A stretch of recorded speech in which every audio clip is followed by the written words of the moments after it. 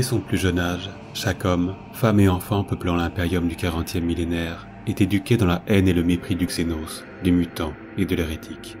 Sur chacun des centaines de milliers de mondes composant les domaines de l'empereur Dieu, pas un jour ne passe en effet sans que les agents de l'Adeptus Administratum ou de l'Ecclésiarchie ne ressassent encore et toujours leur propagande, invitant tout citoyen, noble des grandes maisons comme miséreux des cités ruches, à voir en l'être humain une race supérieure destinée à régner sur la galaxie.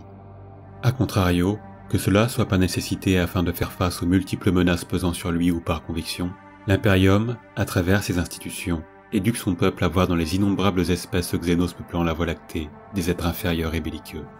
Tout contact avec ceux-ci est d'ailleurs strictement interdit. Tout intérêt pour leur culture, tout attrait pour leur histoire, toute tentative pour essayer d'en apprendre ne serait-ce qu'un peu plus sur eux est prohibé et sévèrement puni. Au sujet de ces ennemis de l'humanité, une seule chose est enseignée, ne ressentir aucune compassion, aucune pitié, ne nourrir envers eux qu'une haine pure et brûlante. Parmi ces nombreuses races hostiles à l'impérium, aucune ne reçoit cependant un tel mépris et un tel dégoût à la simple mention de son nom que celle des orques. Décrits comme primitifs, violents, stupides et laids, les peaux vertes sont bien souvent moqués et vus comme des animaux par les citoyens de l'Empire, des bêtes sauvages, prouvant de par leur simple apparence et leur intellect à quel point ils leur sont inférieurs. Depuis des millénaires, les commémorateurs et la propagande impériale ne cessent d'ailleurs de rappeler les nombreuses victoires remportées contre ces créatures répugnantes, narrant, encore et encore, les batailles légendaires menées par les héros de l'Imperium contre les hordes des peaux vertes, prouvant, inéluctablement, qu'en dépit d'une infériorité numérique face à un ennemi redoutable, la bravoure, la force d'âme et l'intelligence propre à l'être humain étaient à même de triompher de ces bâtiments. Ces mêmes histoires omettaient toutefois de raconter que pour chacune de ces victoires, l'Imperium avait subi tout autant, si ce n'est plus, de défaites humiliantes de la part de son plus vieil ennemi. Pourtant, cette image volontairement construite, afin de prouver aux citoyens de l'Empire la grandeur de la race humaine, ne cessa de se répandre au fil du temps, s'ancrant petit à petit au cours des millénaires qui suivirent dans l'inconscient collectif.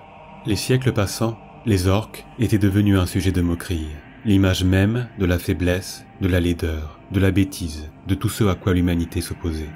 Au cours des banquets organisés au sein des sphères dirigeantes, les nobles riaient avec mépris et dédain en imaginant les existences grotesques menées par ces créatures primitives. Les simples citoyens, quant à eux, ne s'en préoccupaient même pas. Après tout, à quoi bon s'inquiéter d'une espèce qui, selon ce qu'on leur avait appris, avait été défait, brisée à de si nombreuses reprises par les armées de l'empereur qu'elle ne représentait même pas une réelle menace. Pourtant, lorsque le ciel s'obscurcissait, quand les innombrables traînées de feu de leurs vaisseaux déchiraient le firmament, ceux à observer ce spectacle demeuraient tétanisés, transis par la peur en observant ce qu'il était en train d'advenir. Car lorsque la voix arrivait, lorsque la fureur des orques se déchaînait sur l'un de ces mondes, toutes ces croyances que l'on avait inculquées à ces populations partaient bien vite en fumée. Dans une cacophonie ineffable où se mêlaient étrangement hurlements sauvages et rires sadiques, le voile du mensonge se déchirait, emportant avec lui les dernières illusions de cette race qui s'était crue tellement supérieure à ceux qu'elle avait ravalés au rang de primitifs. La réalité, ceux qui ont eu à se battre contre les peaux vertes ne la connaissent que trop bien. Ils la connaissent et comprennent pourquoi l'impérium la cache à ses citoyens. Tout simplement car celle-ci est bien trop terrifiante et gênante pour être sue. Car si elle s'ébruitait, la panique se propagerait alors à travers tout l'Empire. Car aucune société stable ne pourrait prospérer en réalisant que depuis plus de dix mille ans, elle ne doit sa survie qu'au bon vouloir de ses ennemis. En réalisant que s'ils le souhaitaient, ceux-ci pourraient en un instant réduire à néant tout ce que l'Imperium avait mis si longtemps à bâtir. Le sacrifice d'héroïques guerriers avait certes quelque peu contribué à éloigner la menace, mais le salut de l'humanité, comme des autres espèces peuplant la Voie lactée, ne tenait fondamentalement qu'à la nature même des peaux vertes. Leur existence tout entière est tournée vers un seul et unique but, se battre. Se battre constamment, tout le temps, inlassablement. Se battre encore et toujours, et cela contre toutes les espèces peuplant la Voie lactée. Se battre, non pas par haine ou pour une quelconque volonté de voir leur espèce prospérer. Non, les orques n'ont que faire de tout cela, et c'est ce qui les rend effrayants. Effrayants car ils ne peuvent être ni raisonnés, ni impressionnés, ni poussés à abdiquer pour une raison simple. Car les orques se battent pour leur amusement, pour l'excitation que leur procure la guerre, car ils sont la guerre. Ils incarnent la violence, la violence la plus pure et la plus brutale. Et lorsque ceux-ci ne trouvent plus d'ennemis contre qui se battre, leur clan s'entre-déchire dans des luttes de plusieurs siècles. Il semble insensé qu'une espèce tournée vers la guerre, une espèce qui passe son temps à s'entretuer et puis se développer à travers les étoiles. Et pourtant, comme pour beaucoup de choses touchant aux peaux vertes, tout est absolument illogique avec eux. Car malgré tout cela, les orques sont-elles un cancer se propageant à travers la galaxie? Une souillure présente partout à travers celle-ci. Leur gigantesque empire meurt et naissent sans cesse. Ils s'érigent dans la violence, prospèrent dans le sang, et implosent quand ils n'ont plus d'ennemis en commun pour les unir? Et c'est là la terrible réalité à laquelle doivent faire face tous les peuples de la galaxie. Si les orques cessaient leur lutte fratricide, s'ils cessaient leur jeu barbare et décidaient de s'unir, alors absolument aucune force ne pourrait les arrêter. Ce terrible constat, l'Imperium ne le connaît que trop bien, et cela depuis longtemps. En effet, il arrive qu'en de rares occasions, animé par une vision, un chef de guerre orc parvienne à s'élever au-dessus des autres et à unir les clans présents sur des milliers de systèmes solaires à la ronde. Si tel est le cas, alors celui-ci est à même de déclencher une immense wag, une croisade sacrée où les peaux vertes s'unissent pendant un temps pour ravager la galaxie. C'est ainsi qu'au 32e millénaire, un seigneur de guerre dit la bête leva la plus grande wag jamais vue, bien plus grande même que celle vaincue par Horus Lupercal sur Ulianor lors de la Grande Croisade. Ce cataclysme, dont l'ampleur des dégâts demeure encore à ce jour dissimulée à la population, causa tout autant de pertes que l'hérésie, soit le conflit le plus meurtrier de l'histoire de l'Imperium. La croisade marqua d'autant plus les esprits qu'au-delà des pertes occasionnées, les orques s'infiltrèrent si profondément au sein du segmentum solar qu'ils faillirent atteindre Terra et briser ce qu'il restait d'un empire en pleine reconstruction. Cet événement, nommé la guerre de la bête, fut un véritable choc, un cataclysme sans précédent pour les instances dirigeantes. Celui-ci prouva en effet à l'Imperium que son âge d'or était maintenant révolu. Les terribles conflits auxquels il avait dû faire face l'avaient saigné à blanc, et maintenant, ses ennemis se massaient à ses frontières pour lui donner le coup de grâce. Ce constat dressé, l'Imperium n'était pas pour autant prêt à renoncer, et comptait bien, une fois encore, relever avec succès le défi qui lui était posé. Afin de juguler la panique qui gagnait les populations, les hauts dignitaires de l'Empire chargèrent promptement l'Inquisition de former un nouvel ordre, afin d'étudier et de trouver des moyens à même de faire face aux peaux vertes et aux autres espèces extraterrestres peuplant la galaxie. C'est ainsi que de ces événements naquit une organisation qui allait devenir de plus en plus puissante au sein de l'Imperium. L'Ordo Xenos était né, et avec celui-ci, sa propre chambre militante, la toute-puissante Deathwatch.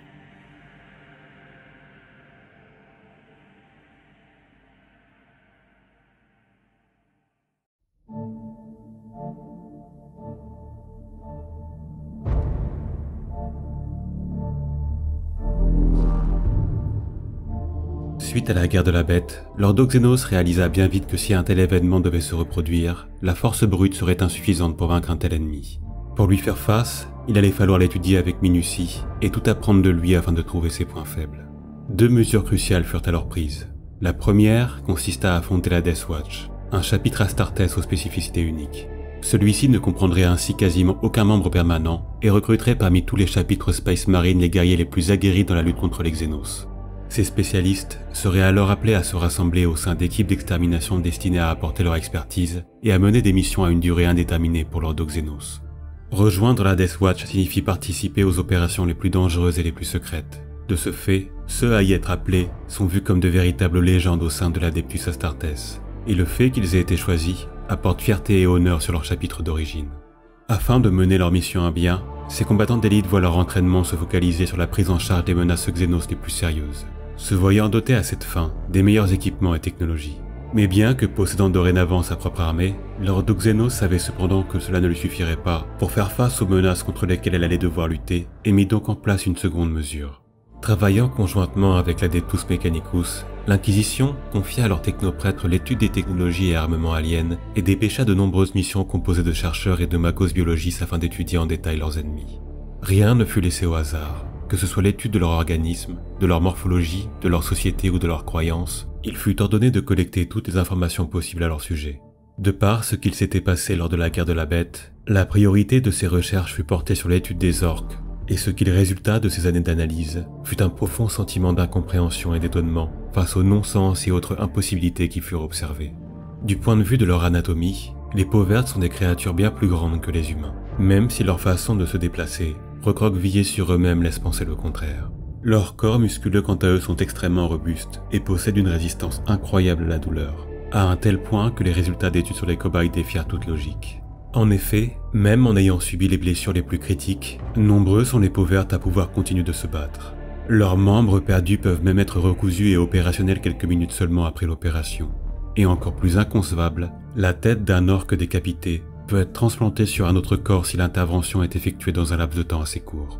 Les raisons pouvant expliquer cette prodigieuse faculté de régénération demeurent un mystère, et l'hypothèse émise par les magos biologistes pour y répondre serait que celle-ci serait due à la constitution mêlant propriétés organiques et fongiques des peaux vertes, couplée à la présence dans leur organisme au niveau cellulaire d'algues d'origine inconnue et aux propriétés régénératrices. Parmi les autres faits étranges révélés sur les sujets étudiés, il semble que les orques, en vieillissant et suite à la confiance accumulée lors des combats, voient leur corps se transformer, grandissant, grossissant et devenant de plus en plus puissants et résistants. Mais l'une de leurs caractéristiques les plus fascinantes serait sans nul doute leur capacité de reproduction. En effet, tout au long de leur vie, les orques libèrent des spores qui seront dispersés par les vents. À leur mort, ce processus s'accélère et de nombreux spores sont alors libérés. Si celles-ci atterrissent au sein d'un milieu favorable chaud et humide, elles s'accumuleront pour former une sorte de cosse, d'où émergeront de nouveaux orques et autres sous-espèces orcoïdes telles que les squigs et les snotlings. Cette capacité totalement invraisemblable rend l'éradication d'une infestation quasiment impossible. Une fois un monde infesté par la présence des peaux vertes, leur propagation devient rapidement endémique et ne peut être contrôlée. Les chercheurs chargés de les étudier, bien qu'étant en mesure d'observer leur fonctionnement, ne purent comprendre comment la nature avait pu permettre à de telles créatures de se développer. Toutefois, l'absurdité que représente leur existence ne s'arrête pas là.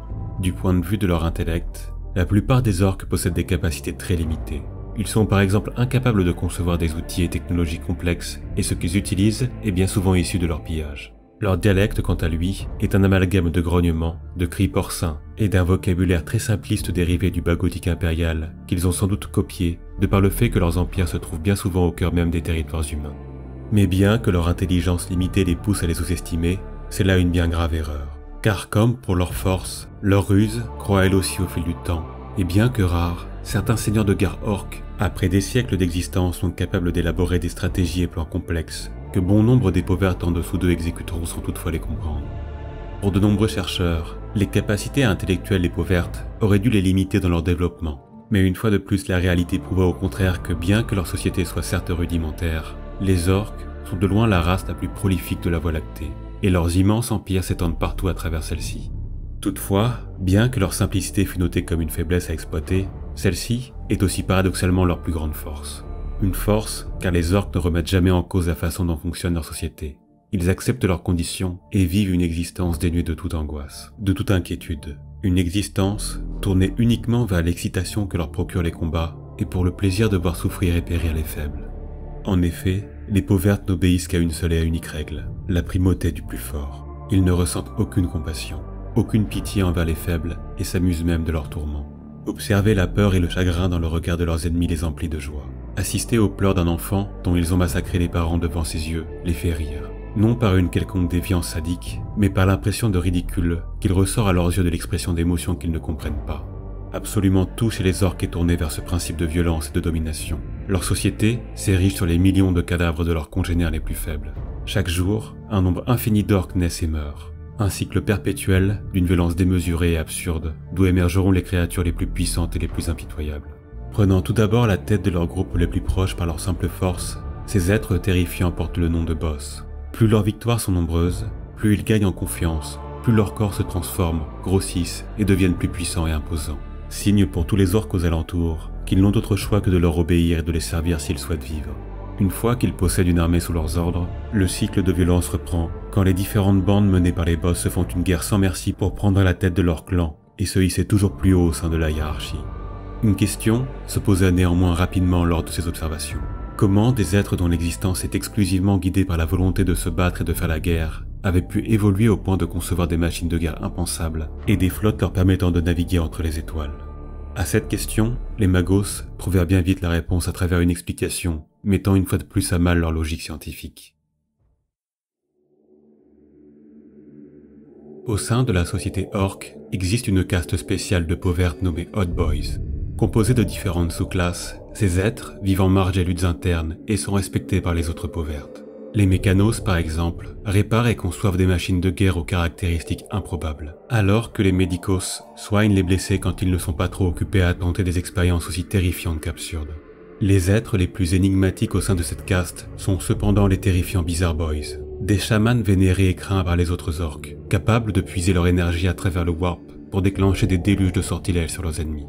Mais ce qui est le plus étonnant au sujet de ces créatures, c'est que celles-ci n'ont pas appris leur connaissance. Elles sont nées avec, comme si ce savoir leur avait été transmis directement via leurs gènes. Cette faculté inconcevable, couplée à toutes les découvertes étonnantes faites sur les orques, fit réaliser aux chercheurs de l'Ordoxénos que ce qu'ils étudiaient ne pouvait pas être issu d'une évolution naturelle. C'est alors qu'avec stupeur une idée se forma dans leur esprit. Il semblait en effet que toutes les capacités présentes chez les orques s'étaient développées pour faire d'eux des armes redoutables, comme si cette espèce tout entière avait été conçue dans un seul et unique but, faire la guerre. Mais ces théories soulevèrent bien vite de nouvelles questions. Quel conflit avait pu nécessiter la création des orques? Qui aurait pu être en mesure d'engendrer une espèce aux caractéristiques aussi prodigieuses? Et surtout, quel ennemi pourrait bien nécessiter le développement d'une telle arme? Ces questions perduraient et demeureraient sans réponse. Mais l'ultime phase d'étude effectuée sur les orques permit néanmoins de vérifier leur théorie. Alors que toutes les découvertes faites à leur sujet sont toutes plus absurdes et invraisemblables les unes que les autres, aucune ne dépasse autant l'entendement que ce que les chercheurs constatèrent lors de cette dernière découverte. Les orques peuvent modifier, ou plutôt altérer la réalité. Bien que cela semble tout bonnement impossible, il s'avère que si suffisamment d'entre eux se rassemblent et croient fortement en une chose, alors la réalité se tordra pour rendre leur croyance réelle.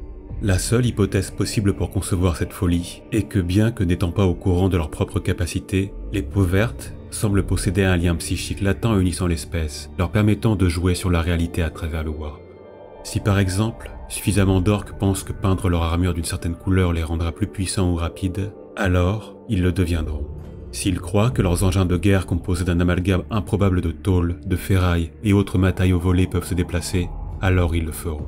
Et si les orques veulent naviguer d'un point de la galaxie à un autre pour faire parler leur fureur, si l'énergie de la WAG autour d'eux est suffisamment forte, alors l'espace lui-même se déchira pour faire passer leur vaisseau. Face à l'ensemble de ces découvertes, nombreux furent ceux qui stupéfaits ne purent concevoir comment il serait possible de lutter face à une espèce possédant autant de capacités surnaturelles et terrifiantes.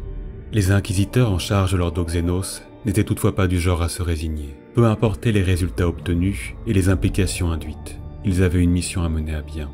Conjointement à la Death Watch, ceux-ci mirent donc en place une série de mesures pour stopper l'avancée des peaux vertes. Pragmatiques, ils acceptèrent le fait que jamais l'Imperium n'aurait les forces nécessaires pour éradiquer les empires orques au sein de ces domaines. Au lieu de cela, ils focalisèrent leurs efforts pour limiter les dégâts causés et surtout empêcher la formation de WAG aussi massive que celle qui avait ravagé le segmentum solar lors de la guerre de la bête. Pour ce faire, ils décidèrent d'axer leurs actions sur les rares points faibles des orques, à savoir leur prédictibilité et leur structure hiérarchique. Ainsi, au cours des millénaires qui suivirent, de nombreuses WAG se formèrent et ravagèrent des dizaines de milliers de mondes au sein de l'Imperium. Mais à chaque reprise, l'Ordo Xenos parvint à accomplir ce pourquoi il avait été créé. Sa stratégie était implacable et des plus efficaces. Recourant aux assassins de l'Ordo Assassinorum, ainsi qu'aux équipes d'extermination de la Death Watch, il s'employait ainsi à supprimer les chefs de guerre orques les plus puissants. Cet objectif atteint, leurs armées, en quête de nouveaux leaders, en venaient à s'entre-déchirer dans des luttes de succession, à l'issue desquelles les armées impériales n'avaient plus qu'à faire face à des forces sensiblement affaiblies. Lord Xenos développa aussi d'autres façons de lutter contre les peaux vertes via la création d'armes biologiques, ou tout simplement en engageant leurs forces de façon à les amener vers d'autres théâtres d'opérations plus favorables et mieux défendus, ou directement vers les domaines des ennemis de l'Imperium. Néanmoins, bien que le pire fût évité in extremis à de nombreuses reprises au cours de ces millénaires de lutte, l'inévitable arriva avec la naissance d'un orque aux capacités hors du commun. Un chef de guerre qui, de par sa grande ruse et sa force terrifiante, parvint à survivre à toutes les tentatives d'assassinat envoyées pour l'arrêter. L'Imperium ne le savait pas encore, mais cet être, portant le nom de Gazgul Mag allait devenir le plus grand seigneur de guerre de l'histoire des orques.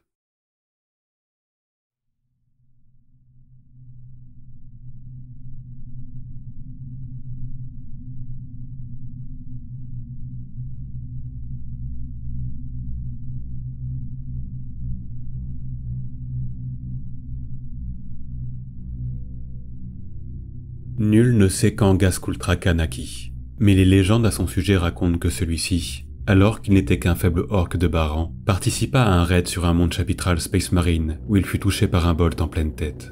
Le tir lui déchira le crâne et emporta une bonne partie de son cerveau avec lui. Mais après plusieurs heures d'intervention, les médicaux de son clan parvinrent néanmoins à le sauver et greffèrent une prothèse en adamantium sur ce qu'il restait de son visage.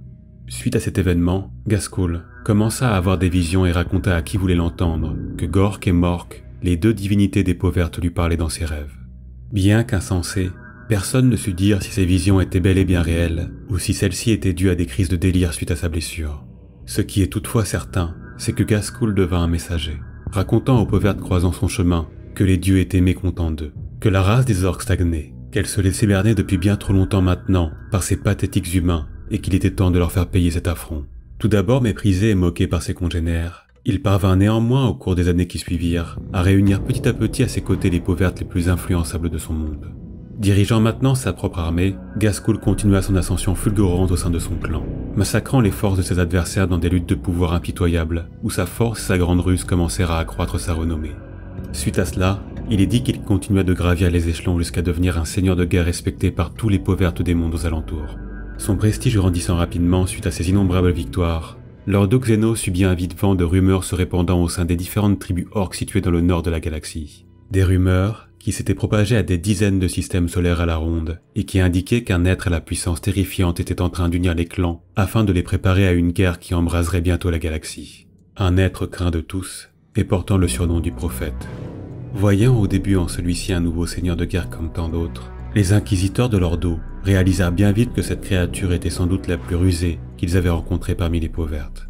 En effet, les tentatives pour l'assassiner se soldèrent toutes par de cuisants échecs. Échecs qui ne manquaient pas de faire croître toujours plus la renommée de Gascoul, au point que de plus en plus d'orques commencèrent à réellement croire que celui-ci était bel et bien un élu envoyé par leur dieu.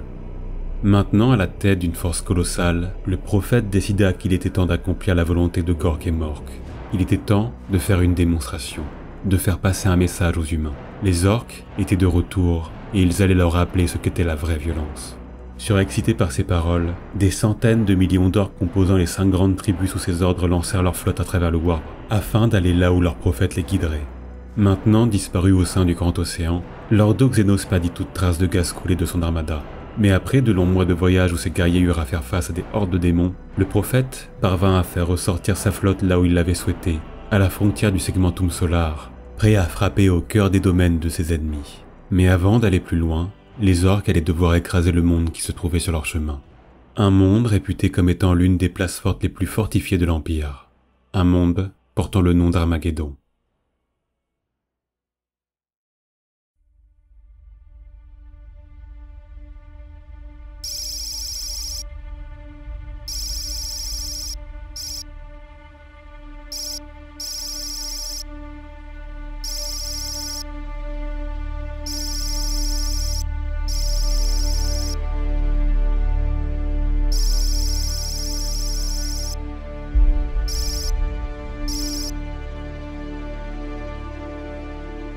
Se trouvant dans le secteur du même nom, Armageddon était un monde classé comme ressource prioritaire par l'Imperium, et cela pour plusieurs raisons.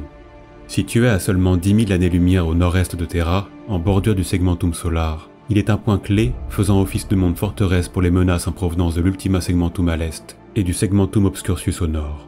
Au-delà de son emplacement hautement stratégique, la planète est connue pour les nombreuses cités ruches qu'elle abrite, ainsi que pour posséder d'immenses ressources minières et en carburant. Celle-ci, couplée à son industrie surdéveloppée, font d'Armageddon un monde d'une importance capitale, permettant la survie de milliers d'autres planètes de par les équipements et les matériaux qu'il exporte.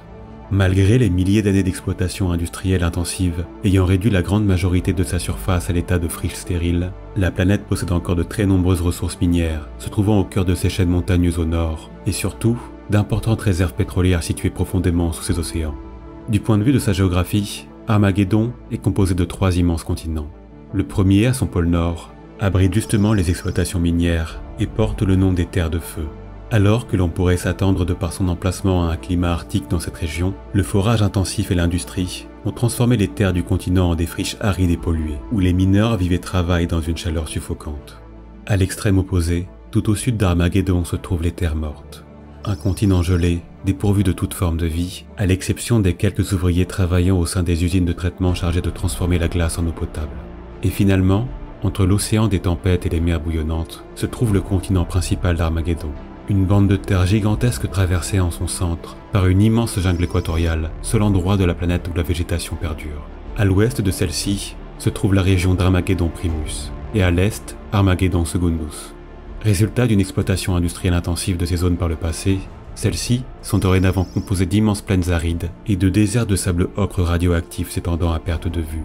Dorénavant dénuée de toute forme de végétation et de ressources, c'est sur ces terres désolées que de titanesques structures de béton et d'adamantium se dressent vers le ciel jusqu'à frôler l'orbite de la planète. Ces constructions démesurées sont les colossales cités ruches d'Armageddon, et les plus connues d'entre elles se nomment Tempestora et Volcanus à l'ouest, et Infernus, Hades, Tartarus, Acheron et Elsrich à l'est. Participant de la renommée de ce monde, ces lieux aux conditions de vie effroyables sont des villes aux proportions cyclopéennes qui s'élèvent à plus de 10 km de haut au-dessus de la surface et dont il est impossible de mesurer les profondeurs. Leur superficie quant à elle varie, mais peut atteindre les dizaines de milliers de kilomètres carrés, des chiffres totalement démesurés, inconcevables, où dans chacune de ces cités vivent entassés des milliards d'êtres humains.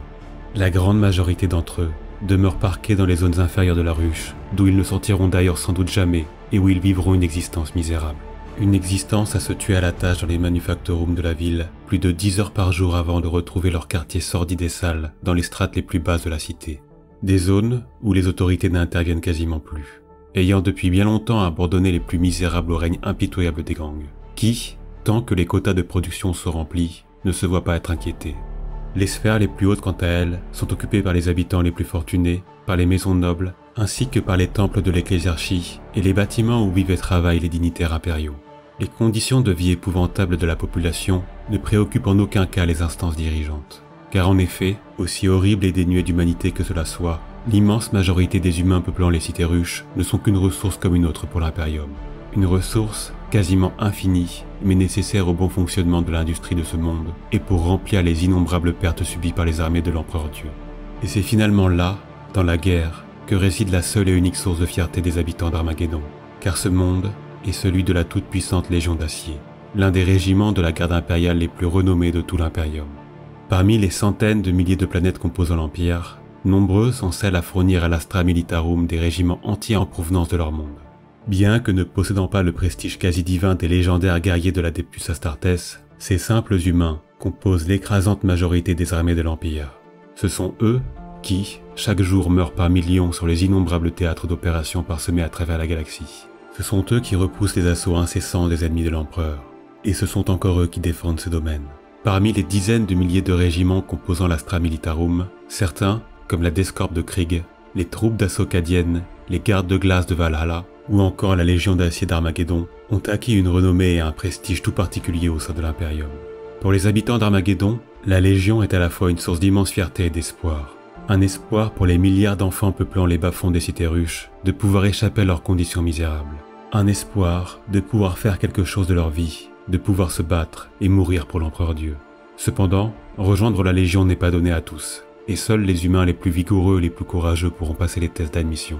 Ceux qui y seront parvenus auront alors l'honneur de recevoir l'uniforme couleur ocre de la Légion d'acier, un uniforme prestigieux, connu et respecté par tous les régiments de la garde.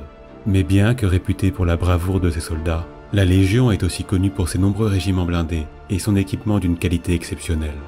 En effet, bien que chargée de fournir en ressources des centaines de mondes à travers l'Imperium, l'industrie d'Armageddon a pour préoccupation première d'équiper son armée avec le meilleur matériel qu'elle peut produire.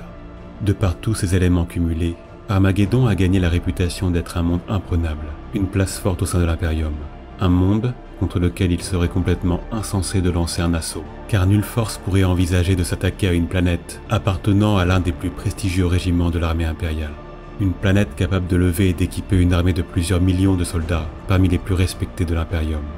Pourtant, cette réputation d'invincibilité a failli être mise à mal, et peu sont ceux à savoir qu'Armageddon a déjà failli tomber une fois par le passé. De ce conflit mystérieux s'étant déroulé vers l'an 499 du 41e millénaire, quasiment rien n'est connu, et toutes les informations relatives à ce sujet ont été censurées par l'Inquisition et l'Ordo Malleus. Néanmoins, malgré la volonté de cacher ce qu'il s'était passé, certaines rumeurs réussirent à se propager. Des rumeurs indiquant que des démons étaient venus sur Armageddon et qu'ils avaient ravagé ce monde. Ce seraient alors les fils de Russ, aidés par un mystérieux ordre de chevaliers aux armures couleur d'argent, qui aurait repoussé cette terrible menace au prix de pertes militaires et civiles inimaginables.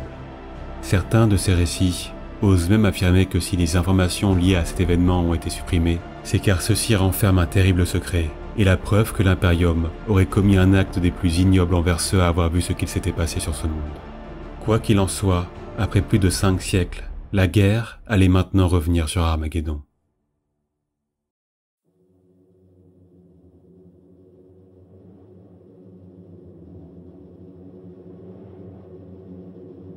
Ne pouvant contenir davantage leur excitation à l'approche du terrible carnage qui les attendait, les peaux vertes composant l'armada de Gascoul se jetèrent dès leur arrivée dans le système à l'assaut des planètes les plus mineures, massacrant impitoyablement leur population dans leur intégralité avant de tourner toute leur attention vers Armageddon. N'ayant pas encore une expérience suffisante pour gérer une armée aussi immense, le prophète eut dans un premier temps bien du mal à maintenir une cohésion au sein des cinq grandes tribus, ce qui causa de nombreuses pertes inutiles au sein de ses troupes. Néanmoins, à ces premières erreurs des orques, les dirigeants d'Armageddon allaient répondre en enchaînant eux aussi des erreurs stratégiques bien plus graves. En effet, les nobles à la tête du monde, éduqués par la propagande impériale à voir chez les peaux vertes des créatures stupides et lâches, sous-estimèrent grandement leurs ennemis et prirent des décisions qui allaient coûter très cher en vie humaine. Le seigneur planétaire Hermann von Straub, assisté par les hauts dignitaires des grandes maisons, refusait de prêter attention aux avertissements rapportés par le haut commandement de la Légion d'Acier, et notamment aux rappels incessants du commissaire Sébastien Yarrick, le pressant de lancer un appel à l'aide vers Terra. Des mois s'étaient en effet écoulés depuis l'arrivée des orques dans le système. Et bien que ceux-ci avaient déjà ravagé les planètes aux alentours d'Armageddon, le gouverneur impérial avait jugé inutile de demander des renforts espérant secrètement écraser les pauvres sur son monde avec l'aide de la Légion et ainsi remporter une victoire prestigieuse. Mais ce plan, à la fois arrogant et insensé, tourna bien vite à la catastrophe lorsque les images rapportées des premiers instants de l'invasion laissèrent sous le choc Von Straub et son état-major.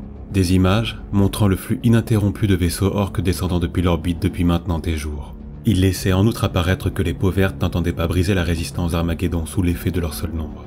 Au regard des ordres donnés, il était indéniable que Gascoul démontrait de vraies capacités stratégiques et tactiques. Outre les assauts simultanés et coordonnés lancés sur toutes les cités ruches d'Armageddon Primus, celui-ci veilla ainsi à implanter des bases de soutien au cœur des terres de feu, témoignant ce faisant d'un plan d'invasion bien plus subtil que ce à quoi on pouvait s'attendre de telles créatures. Le seigneur planétaire, paniqué et horrifié par la tournure prise par les événements, se refusait cependant toujours à solliciter une aide quelconque. Ce fut finalement le commissaire Yarrick, officier de l'Astra Militarum réputé pour son expertise des peaux vertes, qui prit la responsabilité de s'affranchir de l'autorisation de Von Straub pour demander aux astropathes de lancer un appel à l'aide vers Terra. Cette insubordination à l'encontre du plus haut des dignitaires impériaux présents aurait pu lui coûter son rang, voire sa vie. Mais Von Straub, bien que furieux, savait ne pouvoir se passer de l'un de ses officiers les plus compétents. Pour cet outrage, Yarrick n'en fait pas moins forcé de quitter le commandement planétaire pour prendre la direction de la défense de la cité ruche d'Hadès. Les forces présentes sur Armageddon ne purent toutefois savoir si leur appel à l'aide avait été entendu par Terra. Quelques jours seulement après cette tentative désespérée, des tempêtes warp éclatèrent en effet tout autour du système, rendant impossible toute communication avec l'extérieur et empêchant tout vaisseau de quitter ou de rentrer dans le système. Nul n'était en mesure de déterminer si ce cataclysme qui augurait grandement les chances d'Armageddon avait été déclenché par les Bizarre Boys de Gascoul ou par l'afflux d'émanations psychiques dégagées par la soif de massacre des orques. Mais quelle que soit la réponse, le constat demeurait implacable. Le monde était désormais totalement livré à lui-même. Les mois qui suivirent virent Armageddon sombrer dans le chaos. Ne sachant comment réagir, le haut commandement, complètement paniqué, ne cessa d'enchaîner les erreurs, engageant la Légion d'Acier dans des combats perdus d'avance où elle fut écrasée par les armées du prophète. Dans cette situation critique, Von Straub ordonna alors d'abandonner Armageddon Primus à son sort et décida de relocaliser son centre de commandement vers la cité ruche Tartarus, à l'extrémité ouest d'Armageddon Secundus, dans le but de préparer une contre-offensive. Après plus de six mois de défaite, le Seigneur planétaire était parvenu à amasser une puissante armée composée de plusieurs régiments de la Légion d'Acier, et surtout de l'ensemble de la Légion Titanique Metallica. Mais alors qu'on le priait de conserver ses forces en défense au sein des murs de Tartarus, Von Straub et ses conseillers ignorèrent une fois de plus ses avertissements et décidèrent qu'il était temps d'écraser les orques dans une bataille décisive avant d'entamer la reconquête d'Armageddon Primus. Hélas, cette contre-attaque désespérée se solda par l'une des défaites les plus humiliantes de l'histoire de l'Imperium. Une débâcle où les armées du Seigneur planétaire furent écrasées dans une bataille où Gascoul démontra l'étendue de ses talents de tacticien, utilisant notamment les jungles jugées infranchissables pour surprendre ses ennemis, en y faisant passer des renforts venus de l'ouest pour encercler et détruire les forces impériales. Suite à cette défaite, Von Straub, terrifié et convaincu que tout était désormais perdu, abandonna le commandement de la planète et partit se réfugier au sein de son bunker personnel, incapable d'assumer la responsabilité de ses actes. Privée de toute chaîne de commandement alors qu'elle n'en avait plus que jamais besoin, de longues colonnes de troupes retraitées en désordre vers des destinations arbitrairement choisies. Les fronts s'effondraient ainsi les uns après les autres, à l'exception de celui de la cité ruche d'Hadès, où Yarrick tenait en respect depuis maintenant des mois les armées orques. Malgré les maigres forces en sa possession, composées de quelques régiments de la Légion d'Acier, celui-ci était parvenu à faire d'Hadès un véritable enfer pour les peaux vertes. Déployant une énergie sans faille, Yarik s'était dans un premier temps consacré à renforcer ses effectifs, en formant à l'aide des civils présents, hommes comme femmes, de véritables corps francs appelés à être épaulés par les vétérans de la garde impériale. Conscient qu'un affrontement direct était impossible, il avait en outre opté pour une tactique de guérilla, entendant disputer âprement chaque mètre carré de la cité ruche. Se battant pied à pied aux côtés de ses troupes valeureuses, il se faisait un devoir de faire chèrement payer la plus modeste avancée des assaillants. La prise de chaque ruine occasionnait ainsi à ces derniers des pertes colossales. Le valeureux guerrier n'hésitait d'ailleurs pas lorsque la pression adverse se faisait trop grande à laisser passer les peaux vertes pour mieux se jeter après coup sur leurs arrières. Profitant des innombrables boyaux et niveaux que comptait la cité, il rendait la progression adverse des plus incertaines. Le terrain conquis changeait si rapidement de main que les avancées indiquées par les boss à leurs supérieurs s'évanouissaient comme par enchantement au prochain compte rendu. La présence du commissaire avait été un élément déterminant dans la survie de la cité. Celui-ci était partout, intervenant au point les plus chauds, montrant l'exemple en poussant les hommes à se battre, non pour les nobles à la tête d'Armageddon, mais pour l'empereur, pour leur famille et pour ce monde qui était le leur. À la vue de ce que Yarick accomplissait sur Hadès, les officiers supérieurs encore présents décidèrent de lui confier le commandement de ce qu'il restait de l'armée. À peine en charge, le valeureux guerrier ordonna à toutes les troupes encore opérationnelles de se replier au sein des cités ruches afin d'y mener une lutte d'attrition. Bien qu'incertain sur le fait que les demandes d'aide aient été entendues, il veillait à persuader ses troupes que les renforts étaient sur le point d'arriver, entendant ainsi préserver le moral de ses hommes. La nouvelle stratégie porta rapidement ses fruits, et après des mois de combats acharnés, Gascoul se montrait de plus en plus furieux de ne pouvoir en finir avec les cités de ce monde. Le prophète décida alors de se rendre en personne avec le plus gros de ses forces vers Hadès, où, d'après les remontées qui lui avaient été faites, battait le cœur de la résistance. Les assauts sur la cité redoublèrent alors d'intensité, mais les défenseurs continuaient de tenir. De nouveaux mois passèrent, quand enfin, Yarik reçut la nouvelle qu'il avait tant attendue. Après presque deux années d'affrontements ininterrompus, les Tempest Warp s'étaient affaiblis et les puissantes flottes de la Deptus Astartes étaient en train d'arriver dans le système. Impatient d'apporter la vengeance de l'empereur à ces Xenos qui avaient osé s'en prendre à Armageddon, la quasi-intégralité des chapitres des tout-puissants Blood Angels, Ultramarines et Salamanders étaient en train de se rassembler. À peine arrivé dans le système, ce fut le seigneur commandeur Dante, maître de chapitre des Blood Angels, qui prit la direction des opérations et ordonna le déploiement de ses forces en surface pour soulager les défenseurs. L'arrivée des Astartes ne signifia cependant pas la fin des affrontements, et il fallut encore des mois de luttes incessantes et des millions de morts dans les deux camps pour faire réaliser à Gascoul qu'il ne pourrait gagner. Chaque jour, en effet, des renforts arrivaient des quatre coins de l'Empire, et le prophète, aussi furieux que lucide, en vint alors progressivement à admettre le caractère inéluctable de sa défaite. Conscient qu'il lui fallait se retirer avant qu'il ne soit trop tard, il entendait toutefois soigner son départ, à l'occasion duquel il espérait faire passer un message aux humains qui avaient osé le défier. Rassemblant le plus gros des forces qui lui restaient, il décida ainsi de faire payer ceux qu'il rendait responsables de sa défaite. Il lui fallait annihiler ceux sans qui nulle résistance eût été possible. Il fallait écraser les défenseurs de la cité. Cette bataille fut hélas celle de trop pour les protecteurs de la cité. Ne pouvant tenir plus longtemps, les dernières défenses cédèrent et les orques se propagèrent au cœur de la ruche où étaient rassemblées les familles de réfugiés. Bien que les gardes impériaux tentèrent jusqu'au dernier moment de protéger la population, ils ne purent hélas rien faire, et les peaux vertes massacrèrent impitoyablement les civils survivants dans leur quasi-intégralité. Seule l'arrivée des forces du seigneur commandeur Dante permirent de faire fuir les orques. Cette intervention arriva néanmoins trop tardivement, et il est dit que seulement quelques centaines d'humains, dont le haut commissaire Yarrick, survécurent à Hadès. Un chiffre dérisoire en comparaison des milliards de vies perdues en ce lieu. Heureusement, les mois qui suivirent permirent aux forces de la Légion d'Acier, soutenues par les guerriers de la Deptus Astartes, de soulager les défenseurs des autres cités ruches et ainsi permettre d'éviter de tels carnages. Bien que victorieux, le coût en vie et en ressources était néanmoins immense pour l'Imperium. La majorité de l'infrastructure d'Armageddon était en effet en ruine, et les morts, aussi bien militaires que civils, étaient démesurés. Il n'en demeurait pas moins qu'Armageddon avait tenu. La ténacité de ses habitants et la bravoure dont avait fait preuve la Légion d'Acier au combat avaient suscité et susciterait l'admiration de tous. La propagande impériale ne s'y trompa d'ailleurs pas. Elle mit en effet peu de temps à se saisir de ce formidable sujet, en prenant soin bien sûr d'omettre volontairement l'ampleur du carnage, ainsi que les graves erreurs des instances dirigeantes. Yarick, quant à lui, pour ce qu'il avait accompli devant une légende vivante pour la population d'Armageddon et pour les régiments de la Légion. Même les guerriers de la Deptus Astartes ne purent qu'être impressionnés par ce que ce simple humain avait accompli, et afin d'honorer son courage, ceux-ci lui attribuèrent le titre du héros d'Hadès.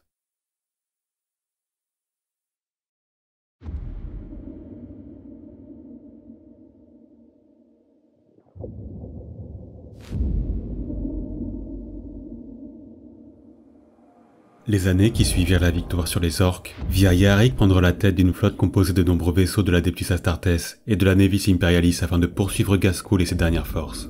Conscient plus que quiconque de la menace que représentait son ennemi, le haut commissaire, avec l'autorisation du seigneur commandeur Dante, dirigea ainsi pendant presque dix années une traque à travers l'Ultima Segmentum pour retrouver le coupable de l'atrocité dont avait été victime son monde. Mais hélas, bien qu'ayant failli tenir le prophète à de nombreuses reprises au cours de ces années passées à l'harceler, la flotte menée par Yarick finit par le perdre au terme d'un engagement où celui-ci sacrifia son arrière-garde pour s'échapper. Par la suite, il est dit que le seigneur de guerre parvint quant à lui à retourner avec les vestiges de son armée vers le monde de Golgotha, où il passa les années qui suivirent à consolider sa position au sein de son empire, en se battant contre ceux qui, suite à sa défaite, avaient été assez fous pour avoir osé souhaiter prendre sa place.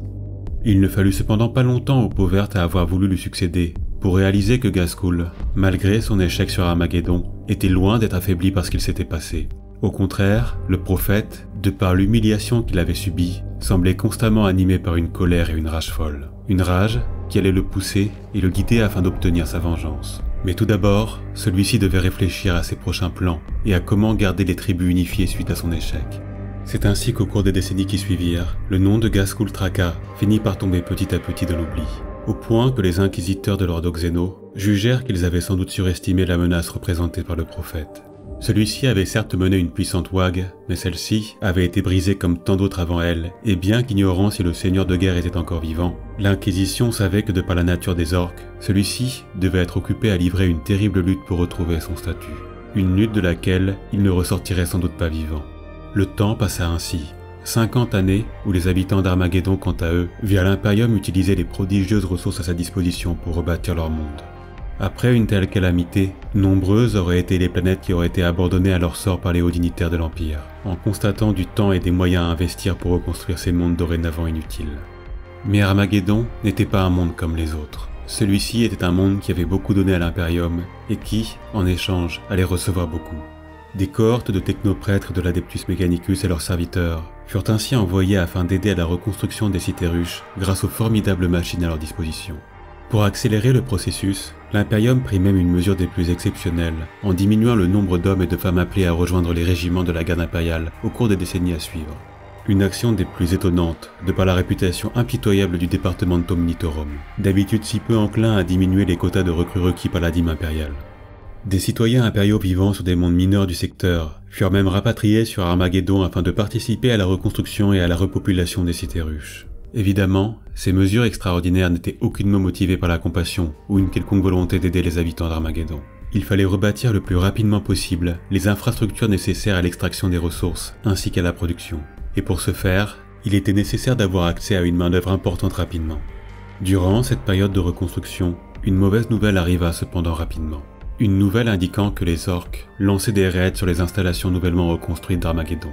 En effet, suite à la venue des peaux vertes, les spores laissés derrière eux s'étaient répandus à travers la surface du monde, et depuis peu, des tribus d'orques primitifs commençaient à se développer au sein des jungles équatoriales et au cœur des déserts radioactifs d'Armageddon Primus et Secondus. Ainsi, la Légion d'Acier fut à nouveau déployée afin de tenter de purger les Xénos, mais hélas, les décennies de lutte ne parvinrent jamais à les éradiquer complètement. Néanmoins, malgré les quelques pertes causées par les raids des peaux vertes, Armageddon était en train de renaître de ses cendres à une vitesse impressionnante. En 40 ans seulement, et cela grâce aux efforts colossaux déployés pour remettre le monde sur pied, celui-ci avait presque récupéré l'intégralité de sa force de production.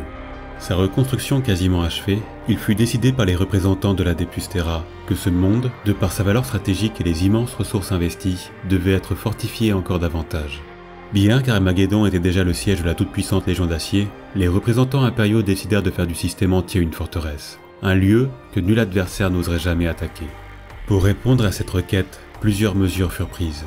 La première fut de retirer le commandement d'Armageddon au Seigneur planétaire pour le donner à un conseil militaire composé des hauts officiers de la Légion et de la Marine impériale, ainsi que des plus hauts dignitaires de la Deptus Mechanicus et de l'Ecclésiarchie. La seconde fut de repeupler les mondes proches d'Armageddon et d'y établir des postes avancés de la garde impériale afin d'en faire la première ligne de défense du système.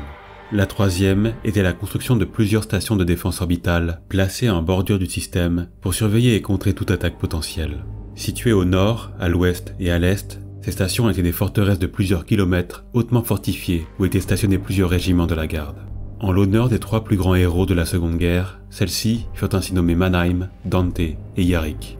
Et enfin, la dernière mesure et la plus importante fut de transférer les forces de la marine impériale du secteur tout entier dans le système d'Armageddon. Pour répondre à cette requête et pour accueillir les milliers de vaisseaux de la navis Nobilites, des travaux colossaux débutèrent. Une construction qui durera plusieurs années et qui vit l'Adeptus Mechanicus concevoir une base spatiale titanesque de la taille d'une petite lune portant le nom de Saint Joen. Une base qui depuis ses docks voyait transiter chaque jour des centaines de vaisseaux en provenance de tout le segmentum solar, en plus d'abriter en son sein une puissante flotte de défense prête à intervenir sur tout théâtre d'opérations aux alentours. Suite à ces constructions, Armageddon était devenu une place forte imprenable au sein de l'Imperium, une place forte dont il serait tout simplement insensé d'oser s'approcher.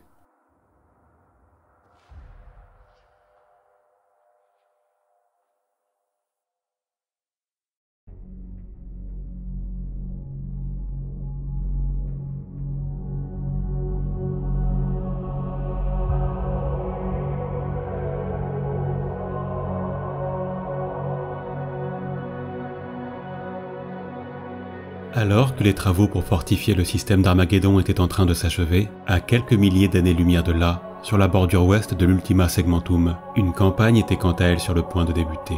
Le chapitre Astartes des Black Templars était en effet en train de rassembler ses forces afin de lancer deux croisades simultanées dans le secteur, Tiberior à l'est et Dimaris plus loin au nord. Les mondes humains composant ces systèmes avaient longtemps attendu une réponse à leur appel à l'aide. Et, finalement, après des décennies passées à lutter seuls à repousser les raids des Xenos, celle-ci était enfin arrivée. Nombreux parmi la population avaient été ceux à espérer la venue des régiments de la garde impériale, peut-être même ceux de la prestigieuse Légion d'acier stationnée non loin d'ici. Mais en aucun cas, ils ne s'étaient attendus à ce que les anges de l'empereur, et encore moins les terrifiants Black Templars ne viennent les aider. Terrifiant car ce chapitre, l'un des plus célèbres parmi les centaines composant l'Adeptus Astartes, possédait en effet une réputation aussi prestigieuse qu'inquiétante. Vu comme étant d'incroyables guerriers, parmi les plus braves et compétents au sein des armées impériales, leur renommée de tueurs de Xénos et d'hérétiques est telle que nombreux sont ceux qui, parmi les ennemis de l'Imperium, fuient en entendant les rumeurs se propager quant à l'arrivée prochaine des Black Templars. La vue d'un Templier est une image des plus impressionnantes. Portant des armures d'un noir profond, recouverts bien souvent d'un tabard blanc, arborant l'héraldique de leur chapitre, ils s'avancent à la guerre en tenant leurs gigantesques épées enroulées à leurs poignets par une chaîne. Symbole, afin qu'ennemis comme alliés réalisent que même brisés, ceux-ci ne lâcheront jamais leurs armes et qu'ils continueront de se battre jusqu'à la fin. Descendants des glorieux Imperial Fist, les membres du chapitre ont la réputation d'être des guerriers intransigeants, froids et stoïques. Des traits de caractère communs aux fils de Dorn, qui, bien souvent, font d'eux des combattants avec qui leurs frères des autres chapitres ont bien du mal à nouer des relations et à se battre à leur côté. Mais ce n'est toutefois pas leur personnalité qui fit d'eux des guerriers craints parmi leurs propres alliés. Bien que descendants de Rogaldorn, les Templiers ont depuis longtemps rejeté les doctrines athées de leur père génétique pour adopter les croyances du fondateur de leur chapitre. Un guerrier légendaire que les mythes désignent unanimement comme le duelliste le plus puissant de toute l'histoire de la Dépus Astartes. Un être ayant vécu il y a des millénaires de cela et qui, par son talent exceptionnel, reçut le titre du champion de l'empereur. Le premier haut sénéchal des Black Templars, Sigismund, le maître de l'épée.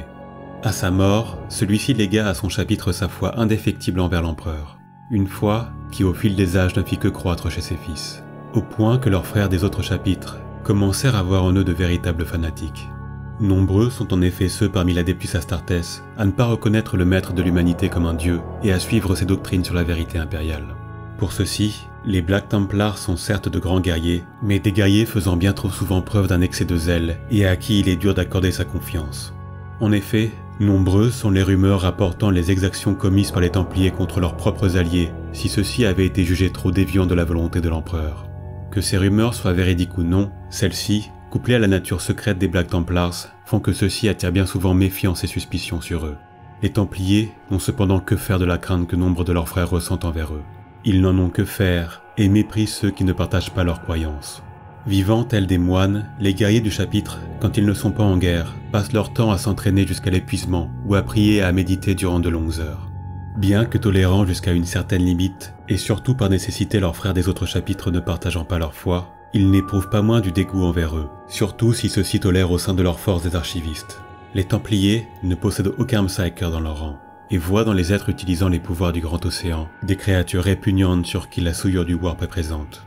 Leur aversion est telle que si un Templier doit mener campagne aux côtés de frères d'autres chapitres possédant des Psykers dans leur rang, celui-ci s'isolera pendant de longues heures, voire pendant des jours, à méditer et à prier pour se préparer à tolérer la présence de ces abominations à ses côtés.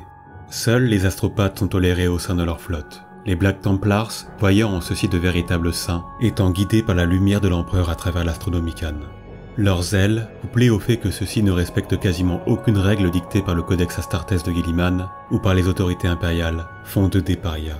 Des guerriers craints de tous, dont même leurs alliés espèrent bien souvent ne pas avoir à se battre à leur côté. Mais pourtant, lorsque les ennemis de l'Imperium osent souiller les domaines du maître de l'humanité, lorsque les Xénos et les hérétiques osent blasphémer son nom, ceux-ci, prennent alors le risque de voir arriver sur eux la fureur des Black Templars en un déferlement de violence insensée qui ne s'arrêtera qu'après avoir écrasé leur ennemi jusqu'au dernier. C'est là la nature des Templiers. Ils sont des croisés, des guerriers saints, destinés à se battre seuls dans les ténèbres. Peu leur importe qu'ils soient incompris, peu leur importe que nombre de leurs alliés les détestent, pour eux, une seule et unique chose compte à leurs yeux, leur devoir éternel envers l'empereur Dieu. C'est ainsi que lorsque les Black Templars sous la direction du haut sénéchal Albrecht, urvant que des Xénos avaient osé s'en prendre à des sujets de leur maître sur la bordure orientale de l'Ultima Segmentum, ceux-ci actèrent que ce crime ne pouvait rester impuni plus longtemps. Comme à leur habitude, les fils de Sigismund laissèrent parler toute leur haine, et les premiers mois du conflit virent les deux forces de croisade avancer à une vitesse fulgurante à travers les systèmes tenus par leurs adversaires. Après ces premières victoires, L'avancée des Black Templars continua toujours plus loin au cœur des domaines de leurs ennemis, reprenant petit à petit chacun de leur monde, après les avoir impitoyablement purgés de toute souillure Xenos. Trop occupés à tenter de ralentir l'avancée des Templiers, leurs adversaires furent obligés de cesser leur raid sur les mondes humains des systèmes voisins, afin de se concentrer sur leur survie. La guerre continua ainsi pendant presque deux années, mais alors que les Black Templars étaient sur le point de briser leurs ennemis, ceux-ci durent brusquement stopper leur avancée. Le haut sénéchal Elbrecht reçut une communication des plus étonnantes qui le força à arrêter ses forces de croisade et à les rassembler en vue de partir sur un autre théâtre d'opération. Un lieu duquel, depuis des semaines maintenant, des appels de détresse ne cessaient d'être émis. Des appels invitant toutes les forces disponibles à travers l'Empire à les rejoindre immédiatement. Aussi inconcevable que cela puisse paraître, Armageddon appelait à l'aide.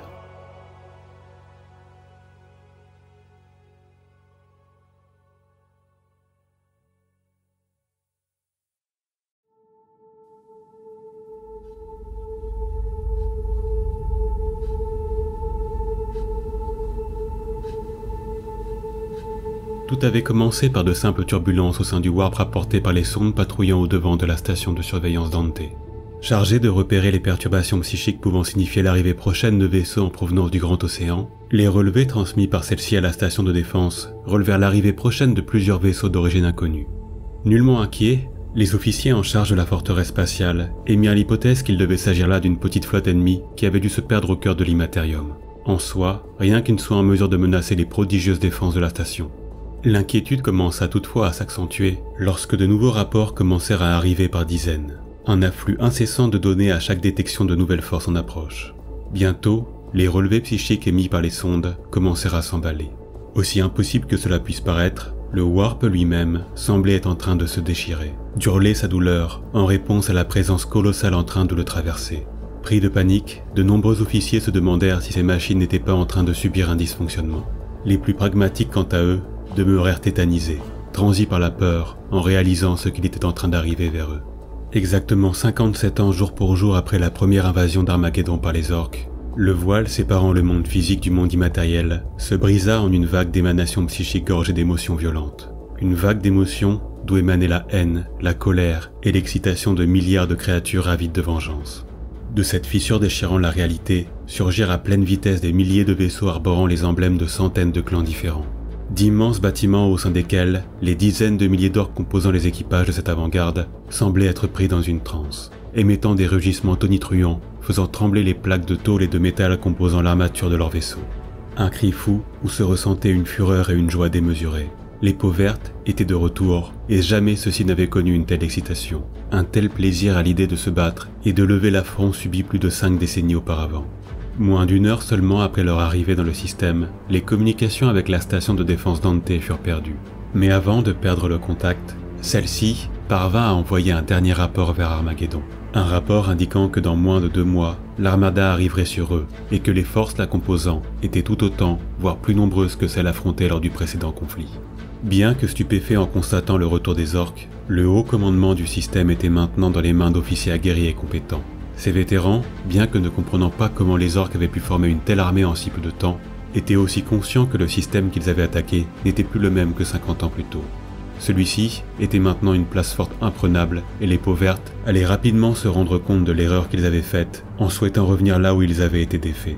Mobilisant l'ensemble de la flotte stationnée au dock de St. John's, l'amiral Parole de la Novice Nobilites partit ainsi à la tête d'une armada composée de plusieurs centaines de croiseurs lourds à la rencontre des peaux vertes en bordure du système. Après plusieurs jours de voyage, la flotte orque, ne s'attendant pas à une réaction aussi rapide des forces impériales, fut prise en embuscade près du monde de Pellucidar. Une des plus grandes batailles spatiales de l'histoire de la marine impériale débuta alors. Les forces de l'Imperium, menées par les vaisseaux amiraux de classe Apocalypse, Triumph et Easewill, engagèrent les orques dans une bataille qui dura plus d'une semaine. L'armada impériale, alors qu'elle était l'une des plus grandes et des plus puissantes flottes de la galaxie, n'en était pas moins en infériorité numérique, avec un ratio en sa défaveur de 6 contre 1. Ainsi, les premiers jours de la bataille vers les vagues de vaisseaux orques se brisaient les unes après les autres sur la puissance de feu démentielle de l'armada impériale. Chaque jour, des centaines de milliers de peaux vertes mouraient, et chaque bâtiment impérial détruit l'était au prix d'une douzaine des leurs. À ce rythme, l'amiral Parole estima que même si les pertes subies étaient lourdes, si le conflit continuait ainsi, il pourrait briser les orques ici et maintenant. Mais tout changea quand de nouveaux rapports arrivèrent des stations de défense Yarik et Mannheim. Des rapports qui laissèrent sous le choc même les officiers impériaux les plus expérimentés et inébranlables. Deux autres armadas orques étaient en train d'arriver dans le système. Les stations étaient déjà perdues et leur dernière transmission indiquait que chacune des deux flottes était similaire en taille à celle que l'amiral Parole était en train d'affronter. À la réception de ces informations, un silence de plusieurs minutes se fit au sein du Haut Conseil militaire. Un silence nécessaire pour réaliser ce qu'il était en train de se produire. Les orques étaient de retour avec une force trois fois plus nombreuse que celle qui avait déjà failli briser Armageddon par le passé. Tout simplement, la plus grande WAG de l'histoire de l'Imperium. Une WAG dépassant même celle affrontée durant la guerre de la bête, dix millénaires auparavant. Bien que stupéfaits, les dirigeants impériaux eurent néanmoins la présence d'esprit d'ordonner à l'amiral Parole de battre en retraite vers Armageddon pour se préparer au conflit à venir. Les premières images rapportées montrant l'afflux constant de nouveaux bâtiments orques dans le système ne laissèrent aucune place au doute. Les emblèmes et bannières arborées établissaient clairement que le chef de cette horde monstrueuse n'était autre que Gazkul Traka. Le prophète, plus puissant que jamais, avait, par sa ruse et son éloquence, réussi à transformer sa défaite en une chance unique d'unir les clans en une croisade comme la galaxie n'en avait jamais vu. Une croisade au nom de Gork et Mork, dans le but de laver l'affront que les humains avaient infligé à leur race lors de la précédente guerre. Mais ce que l'Imperium ne savait pas encore, c'est que Gaskul n'avait cessé de penser aux raisons ayant mené à son échec. Celui-ci avait longuement réfléchi à la façon dont il obtiendrait sa vengeance, et l'armée colossale qu'il avait levée n'était là que la première des surprises qu'il avait préparées contre ses ennemis. La horde qu'il était parvenu à constituer aurait pu ravager aisément n'importe quelle région de la galaxie, et ce, sans être mis en danger. Mais le prophète en avait décidé autrement. C'est à Armageddon que tout devait se jouer. La capture de frégates de commerce l'avait depuis longtemps mis au courant des fortifications effectuées dans le système. Il savait le nouveau statut de place forte imprenable d'Armageddon, et c'est pour cela que la planète devait tomber entre ses mains. Il allait faire passer un message. Un message à toute la galaxie, à tous les orques et à tous les humains. Il allait leur montrer qu'il allait briser ses ennemis sur leur terrain, sur le lieu qu'il pensait être imprenable.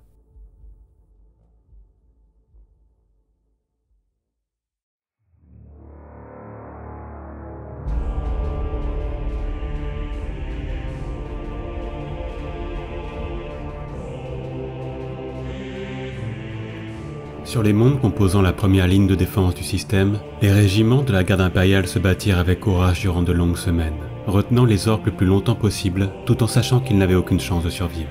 Chaque jour gagné était néanmoins un jour donné à l'Imperium pour se préparer à l'un des plus grands défis de son histoire. Un défi dont les autorités impériales réalisèrent la gravité, ordonnant la mobilisation de l'intégralité des ressources disponibles. Il n'y aurait aucune retenue, aucune réserve, tout se jouerait dans le système d'Armageddon. Si les forces impériales présentes là-bas venaient à être vaincues, alors rien ne pourrait contenir l'avancée des orques au sein du segmentum solar. Mais bien que faisant face à la plus grande wag orque jamais vue, l'Imperium avait déjà eu à surmonter d'innombrables crises avant celle-ci.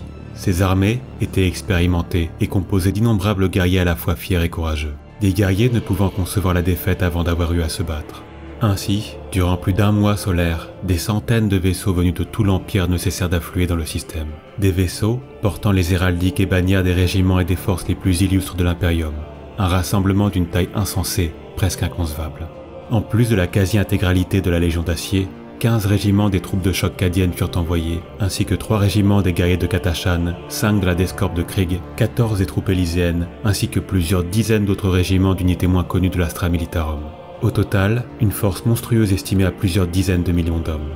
Aux forces de la garde impériale s'en ajoutèrent cependant bien d'autres, dont celle de l'Adeptus Mechanicus, qui déploya 4 de ses légios titaniques dans leur intégralité, plus 3 demi-légios, 14 régiments de Scitari, 4 ordinati et même un tout-puissant arc Mechanicus. L'Ordo Hereticus envoya lui les sœurs de bataille de deux de ses couvents les plus prestigieux, les sœurs de l'Ordre de Notre-Dame des Martyrs et celles de l'Ordre du Suaire d'Argent, alors que l'Ordo Xenos dépêcha lui plusieurs équipes d'assassins de l'Ordo Assassinorum ainsi que deux équipes d'extermination de la Death Watch. En plus de ces renforts, la marine impériale ordonna le regroupement de toutes les sous-flottes restantes, stationnées dans les secteurs voisins, pour venir renforcer les forces de l'amiral Parole. Et enfin, face à une telle situation de crise, l'Adeptus Astartes répondit lui aussi présent en déployant plus de 25 de ses chapitres, dont notamment l'intégralité des forces des Celestial Lions, des Exorcistes, des Relictors et des Mortificators, en plus de la quasi-entièreté des forces d'autres chapitres comme les Silver Skulls, les Storm Giants ou encore les Flesh Tearers. Même les chapitres à la renommée légendaire descendant des premières légions commencèrent eux aussi à arriver dans le système. Des chapitres dont la simple vue de leurs vaisseaux et de leurs illustres bannières redonna espoir aux guerriers et civils présents au sein de la flotte et sur Armageddon. Une vision rappelant à tous que les guerriers qui venaient d'arriver étaient ceux de chapitres n'ayant jamais été vaincus depuis leur création, dix millénaires auparavant. Et enfin, parmi les dernières arrivées, les inquiétants et énigmatiques Black Templars rejoignirent l'armada impériale avec trois forces de croisade soit la quasi-intégralité de leurs forces. À leur tête, le haut sénéchal Albrecht, malgré la réputation de son chapitre, était un héros de l'Empire hautement respecté par tous les autres maîtres de chapitre. De par ses compétences inégalées dans les engagements spatiaux, il reçut de ses pairs le commandement de l'intégralité de la flotte, celle-ci comprenant l'ensemble des bâtiments de la Novis Nobilites, de l'Adeptus Mechanicus et de tous ceux des différents chapitres Astartes. Après plusieurs semaines, arriva le moment où le flux des renforts commença à diminuer jour après jour. En effet, les orques avaient presque terminé de prendre les autres mondes du système, et bien que se battant toujours pour le contrôle des docks de St. John's, leurs immenses flottes étaient en train de commencer leur blocus du système. Regroupés en surface du monde, au sein des quartiers de commandement de la rue Chades, les officiers les plus importants des différentes forces impériales étaient rassemblés aux côtés des maîtres de chapitre de l'Adeptus Astartes pour planifier la défense du système. Elbrecht, ayant reçu la direction de la flotte, Nombreux étaient néanmoins ceux parmi les officiers impériaux à se demander qui recevrait le commandement au soldats Armageddon. C'est alors qu'une immense clameur se fit entendre au cœur de la cité ruche. Aux abords des immenses avenues, des dizaines de milliers de citoyens étaient en train de se rassembler afin de constater si la rumeur était vraie. À peine débarqué du dernier vaisseau étant parvenu à percer le blocus des orques, celui qui allait prendre le commandement d'Armageddon s'était mis en marche pour rejoindre le quartier général où se trouvait le rassemblement des officiers impériaux. Celui-ci avait bien volontairement choisi de traverser la cité aux yeux de tous.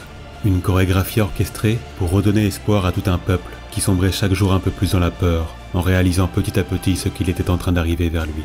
Les cris de joie, les larmes et les acclamations des civils ne cessèrent jamais au cours de sa marche vers le centre de commandement. En quelques heures seulement, toutes les cités ruches reçurent le message. Sébastien Yarik était lui aussi de retour sur Armageddon.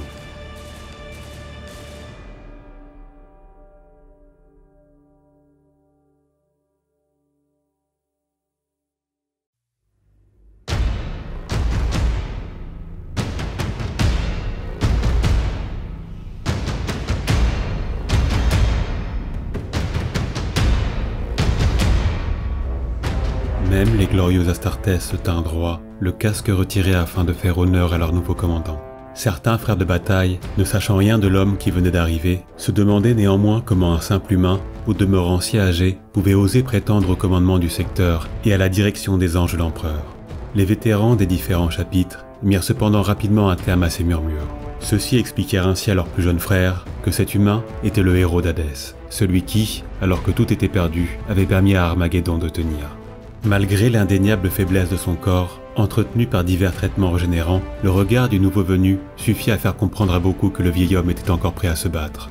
Il y perçait en effet une détermination inflexible et un courage immense. Le feu qui animait le sauveur d'Armageddon brûlait encore. Après avoir fait le silence, Yarick, accompagné du haut sénéchal Albrecht, commença son exposé de la situation avant de présenter à l'Assemblée le plan qu'il avait médité durant son voyage.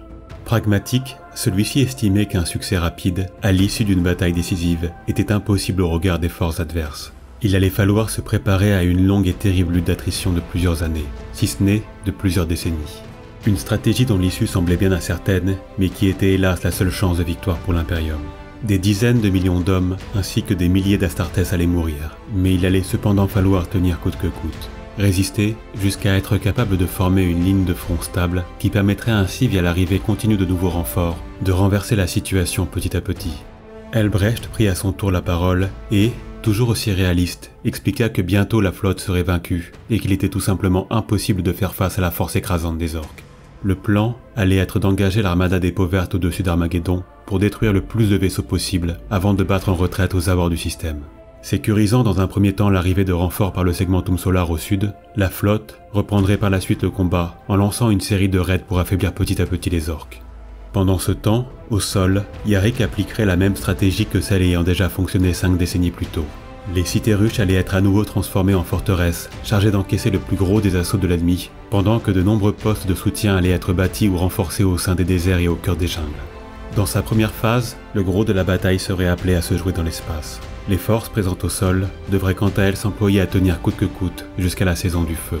Durant cette période de l'année où les volcans du monde entrent en éruption et où les vents balayant les déserts deviennent toxiques, les orques ne pouvant plus se battre à leur plein potentiel, seraient alors obligés de modérer leurs assauts pendant un temps. Si le plan fonctionnait et qu'Elbrecht parvenait à affaiblir suffisamment la flotte des orques, alors de nouveaux renforts pourraient être déployés au sein des cités ruches pour reprendre le combat une fois la saison du feu passée. Face à ce terrible constat, nombreux furent les officiers impériaux à afficher une mine sombre. Vaincre les orques rapidement était tout simplement impossible, et ils savaient que ce que proposaient Yarick et Elbrecht était la seule solution possible. Une stratégie non pas pour vaincre, mais pour ne pas perdre.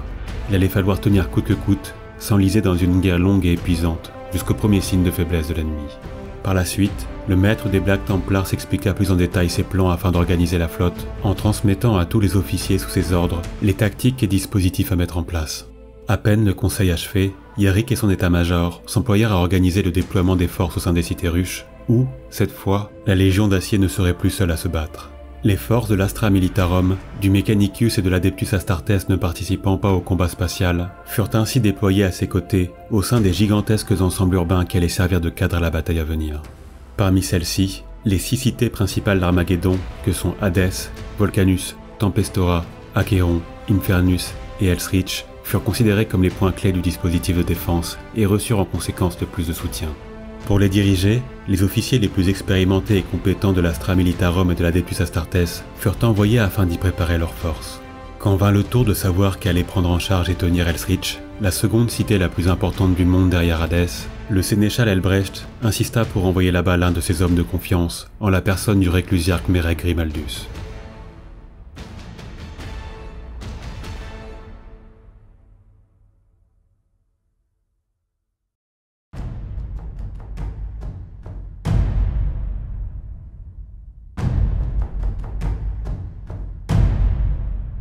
Grimaldus était un vétéran ayant participé à plus de 20 croisades au cours de son existence. Bien que ne possédant pas les talents au combat des meilleurs duellistes du chapitre, celui-ci n'en demeurait pas moins un guerrier hors pair, réputé par tous ses frères pour sa grande force d'âme. En effet, après avoir été durant plus d'un siècle élève du précédent réclusiarque des Templiers, un grand héros du nom de Mordred, Grimaldus venait tout juste de perdre son mentor et avait hérité de ce rôle unique au sein du chapitre. Un rôle faisant des réclusiarques les porteurs de la parole de l'empereur. Ce sont eux qui, dans les moments les plus critiques, redonnent courage et espoir à leurs frères et qui les motivent à redoubler d'efforts pour écraser leurs ennemis. Ils sont des prêtres guerriers dont la volonté ne peut être brisée, des êtres vus comme des sages et des guides par leurs frères qui leur confient leurs doutes, leurs craintes et qui font appel à eux afin de confesser leurs péchés. Un rôle d'une importance cruciale pour des guerriers vivant leur existence à travers leur foi envers l'empereur. Toutefois, lorsque Merek Grimaldus devint le nouveau réclusiarque du chapitre, Nombreux furent ceux à remettre en cause cette décision du sénéchal Elbrecht, voyant en leur frère un guerrier trop jeune et au caractère trop froid et renfermé pour assumer les responsabilités allant avec un tel titre. Le principal intéressé partageait lui-même ses doutes, se voyant comme étant indigne de succéder à son mentor. Mais bien que manquant de confiance en ses capacités, tous ceux qui avaient eu à se battre à ses côtés partageaient le même avis sur leur frère. Bien qu'il était vrai que sa nature calme et froide pouvait être déroutante de par la charge qu'il occupait, lorsque les combats devenaient les plus intenses et que la situation était critique, celui-ci semblait être comme transformé, comme animé par la fureur de l'empereur. Dans l'enfer de la guerre, Grimaldus révélait sa véritable nature. Une force de caractère hors norme, une volonté inébranlable, animée par son amour envers ses frères et sa haine pure et viscérale pour les ennemis de l'empereur. Son mentor avait perçu la véritable nature de son élève, et Albrecht, faisant pleinement confiance à son vieil ami, avait accepté sa requête d'en faire son successeur. C'est ainsi qu'après avoir prononcé ses vœux au cœur du vaisseau amiral des Templiers, l'Eternal Crusader, Grimaldus fut envoyé à la tête de 100 de ses frères afin de tenir Elsrich. À cette annonce, celui-ci avait été désemparé, voyant dans cette mission une punition, une injustice qu'il ne comprenait pas. Pour lui, son devoir était de se battre avec ses frères en orbite et de mourir à leur côté, pas de défendre de pathétiques humains et de terminer son existence au sein d'une cité ruche crasseuse. Pourtant, il était un Templier, et il obéirait quoi qu'il en soit. Bien qu'étant conscient qu'il ne reviendrait pas d'Armageddon, le réclusiarque put néanmoins compter sur le soutien de plusieurs de ses frères d'escouade qui décidèrent d'eux-mêmes de venir mourir à ses côtés. Parmi eux se trouvait Bastilan, un grand guerrier vétéran d'innombrables croisades, un sergent connu pour son humilité l'ayant toujours poussé à refuser les nombreuses promotions qui lui avaient été proposées. Cador, un chevalier brave et silencieux, son ami de toujours Nérovar, apothicaire du chapitre, et Priamus, un jeune frère au tempérament fougueux mais prodige du maniement de l'épée. Enfin, pour porter sa bannière et se battre dans son ombre, le réclusiarque nomma son plus fidèle ami Artarion, un grand guerrier à l'attitude désinvolte et au visage ravagé de cicatrices, arborant pourtant constamment un sourire amusé.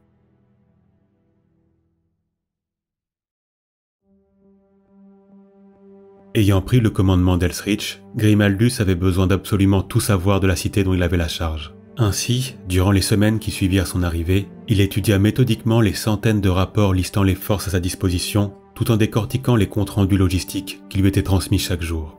Des journées épuisantes passaient sans dormir, entrecoupées de pauses pour rencontrer son état-major.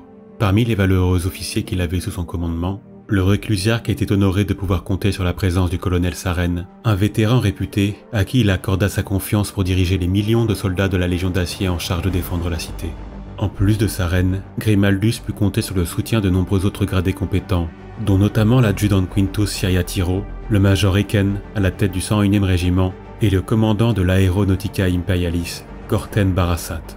Après avoir finalement terminé son analyse de la situation, le plan de défense d'Elstrich fut élaboré et transmis aux centaines d'officiers à la tête de la cité ruche. Deux objectifs prioritaires furent déterminés, deux points vitaux qu'il allait falloir tenir coûte que coûte car si ceci venait à être perdu, cela entraînerait inévitablement la chute d'Elsrich. Le premier point clé était l'immense autoroute qui traversait la cité de part en part. Nommée Else Highway, celle-ci était connectée à toutes les autres routes de la cité et permettait ce faisant un accès rapide aux différents points vitaux de la ruche.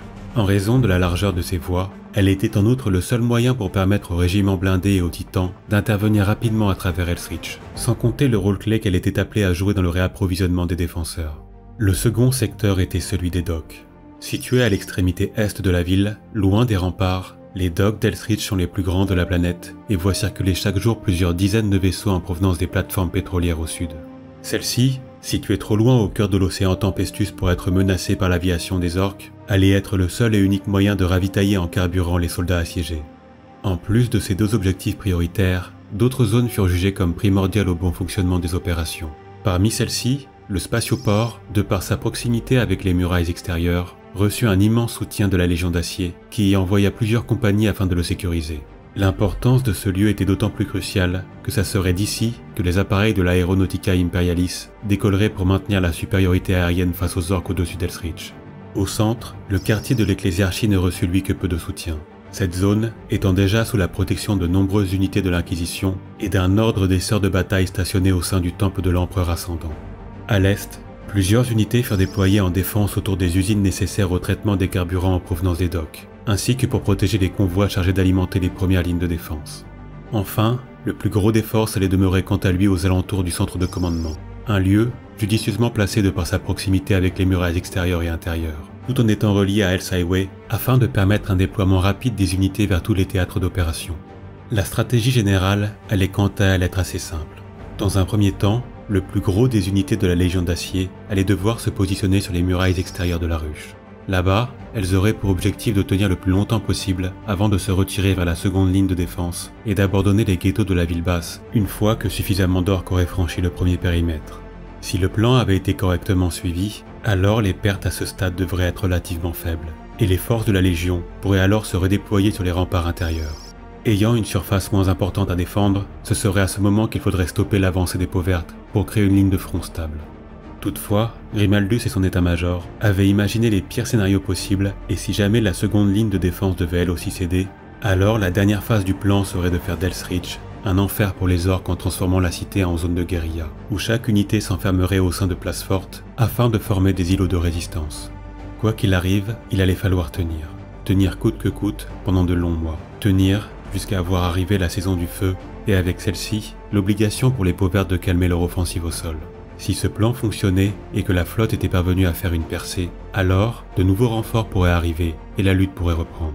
Pour ce qui est des civils, seuls les ouvriers des usines et les dockers furent autorisés à continuer le travail.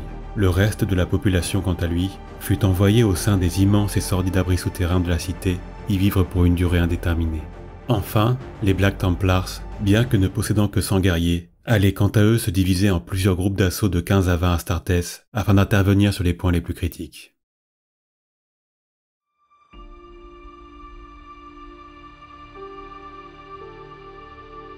Les derniers renforts arrivés au sein des murs d'Elsrich furent les titans de la Legio Invigilita, alors qu'il était initialement prévu qu'ils se rendent dans la région d'Emlock afin d'apporter leur soutien aux Salamanders Grimaldus était parvenu au terme d'un échange houleux à convaincre la princesse Majorie Zara Mansion de l'aider dans sa mission.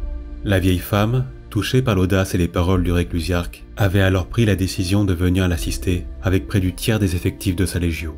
Une force impressionnante composée de 15 titans de classe Warlord et de dizaines de titans de classe inférieure River et Warhound, chargés d'escorter et de protéger ces armes de destruction parmi les plus puissantes de tout l'arsenal impérial.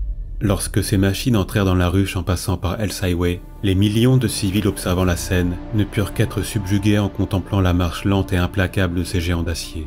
Pourtant, la vue des Warlords ne fut que peu de choses en comparaison à l'arrivée de Storm Herald.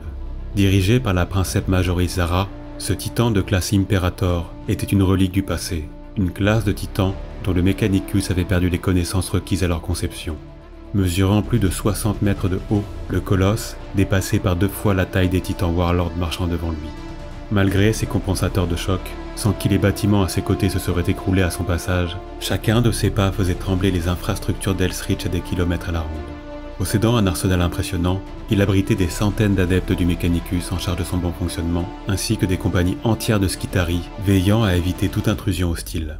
Grimaldus et ses frères, bien qu'habitués à se battre aux côtés du Mechanicus, demeuraient néanmoins impressionnés par l'arrivée de la machine divine et de son host. Pourtant, malgré la formidable puissance de feu qu'il avait rassemblée au cœur d'Elsrich, le réclusiarque avait vu les rapports. Il connaissait les orques et savait que tout cela ne suffirait sans doute pas pour faire face à ce qu'il allait survenir. À peine quelques heures après l'arrivée de la Legio Invigilita, de nombreuses lueurs commencèrent à être perçues partout à travers les cieux du monde des lueurs lointaines qui firent réaliser aux milliards d'habitants d'Elsrich ce qu'il était en train de se produire. Après presque trois mois d'attente depuis leur arrivée dans le système, les orques avaient finalement atteint l'orbite d'Armageddon. En quelques minutes seulement, la puissance de feu colossal déployée par les deux flottes détruisit des centaines de vaisseaux. Ceux-ci explosant en une multitude de fragments qui va embraser les cieux en dessous d'eux. Une pluie de feu et de métal s'abattit sur Armageddon, un spectacle invraisemblable où le ciel nocturne fut déchiré par une multitude de traînées incandescentes. Cette vision apocalyptique s'accentua lorsque de nombreux débris vinrent se briser sur les boucliers énergétiques de la cité. Les détonations tonitruantes et les explosions de flammes bleutées contre les parois des boucliers provoquèrent alors un début de panique au sein de la population. Tel un triste retour à la réalité, ce déluge de feu rappela à tous qu'après plus de trois longs mois d'attente, la guerre était enfin arrivée sur leur monde et qu'avec elle venait la promesse d'une mort à laquelle ils ne pourraient s'astreindre. Parallèlement aux événements se déroulant au-dessus d'Elsrich, les déserts de sable ocre qui entouraient la cité voyaient se former sous l'effet de l'écrasement de nombreuses carcasses de vaisseaux orques de gigantesques cratères. Les Black Templars, qui observaient la scène depuis les remparts, savaient à quel point les peaux vertes étaient robustes. Pour eux, il ne faisait aucun doute que ces épaves devaient grouiller de survivants et que ces derniers allaient bientôt se réorganiser et entamer la construction d'avant-postes sur lesquels leurs congénères pourraient s'appuyer par la suite. C'est à ce moment que Grimaldus reçut une communication en provenance du colonel Saren. Celui-ci lui demandant d'aller purger le plus gros des forces orques se regroupant aux alentours de la cité.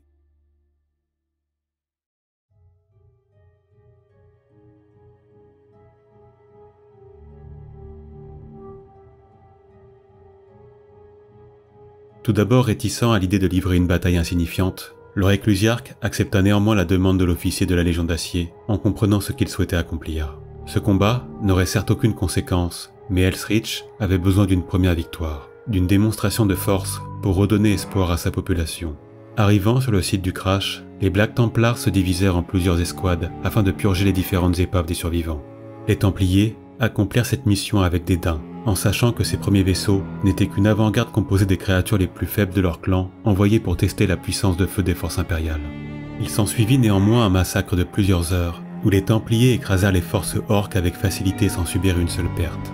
Nombreux parmi les guerriers étaient d'ailleurs ceux à ne pas comprendre l'ordre que leur avait donné leur ecclésiarque, n'ayant que faire de redonner espoir à de simples humains. Pour eux, le simple fait de devoir tacher leurs épées et leurs armures du sang de ces créatures pathétiques était une insulte à leur honneur de guerrier. Toutefois, parmi les vaisseaux à s'être crachés non loin d'Elsrich, l'un d'eux attira l'attention de Grimaldus. Une carcasse d'un bâtiment volé par les orques, portant l'héraldique du chapitre Astartes maintenant éteint des Shadow Wolves. À cette découverte, le réclusiarque fut pris d'une tristesse et de dégoût en constatant qu'une relique ayant appartenu à des frères de l'Adeptus Astartes avait été souillée par la présence de Xenos.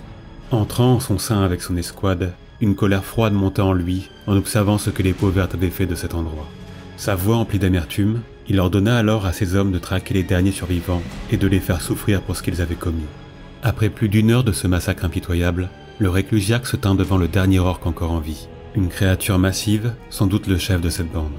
Blessée suite au crash, celle-ci se traînait sur le sol en rampant dans son sang.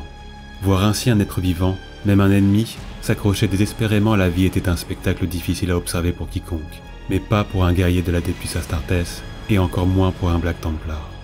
Avançant d'un pas lent vers la créature, Grimaldus vint se tenir à ses côtés avant de le retourner sur le dos.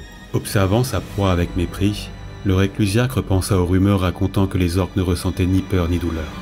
Des rumeurs qu'il savait être fausses. Car bien que leur résistance soit élevée, les peaux vertes avaient eux aussi leurs limites, et il allait prendre plaisir à découvrir celle de la bête sauvage gisant à ses pieds. Grimaldus posa alors son pied sur le torse blessé de la créature.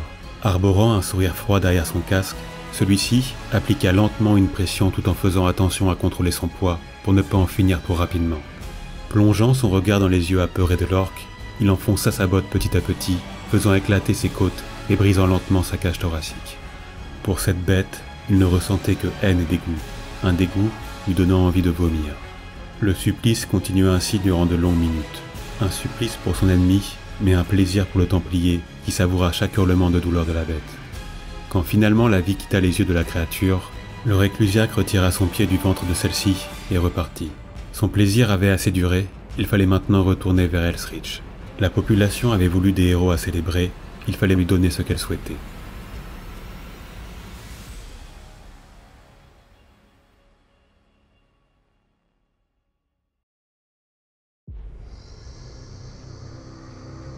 Jusqu'ici, la flotte impériale s'était bravement battue, parvenant à retenir les orques, empêchant à ne serait-ce qu'un seul de leurs vaisseaux de se poser sur Armageddon. Mais l'armada ennemie ne pouvait être contenue davantage, et chaque jour, des milliers de vaisseaux des trois flottes Xénos convergeaient vers l'armée impériale, la forçant à reculer petit à petit. La puissance de feu insensée déployée par les deux armadas avait déjà causé des millions de morts aux deux camps, et les pertes ne cessaient d'augmenter à chaque instant.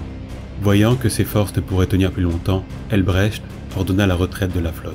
Mais bien que cela fasse partie du plan, abandonner Armageddon et ses frères templiers à leur sort fut un déchirement pour lui.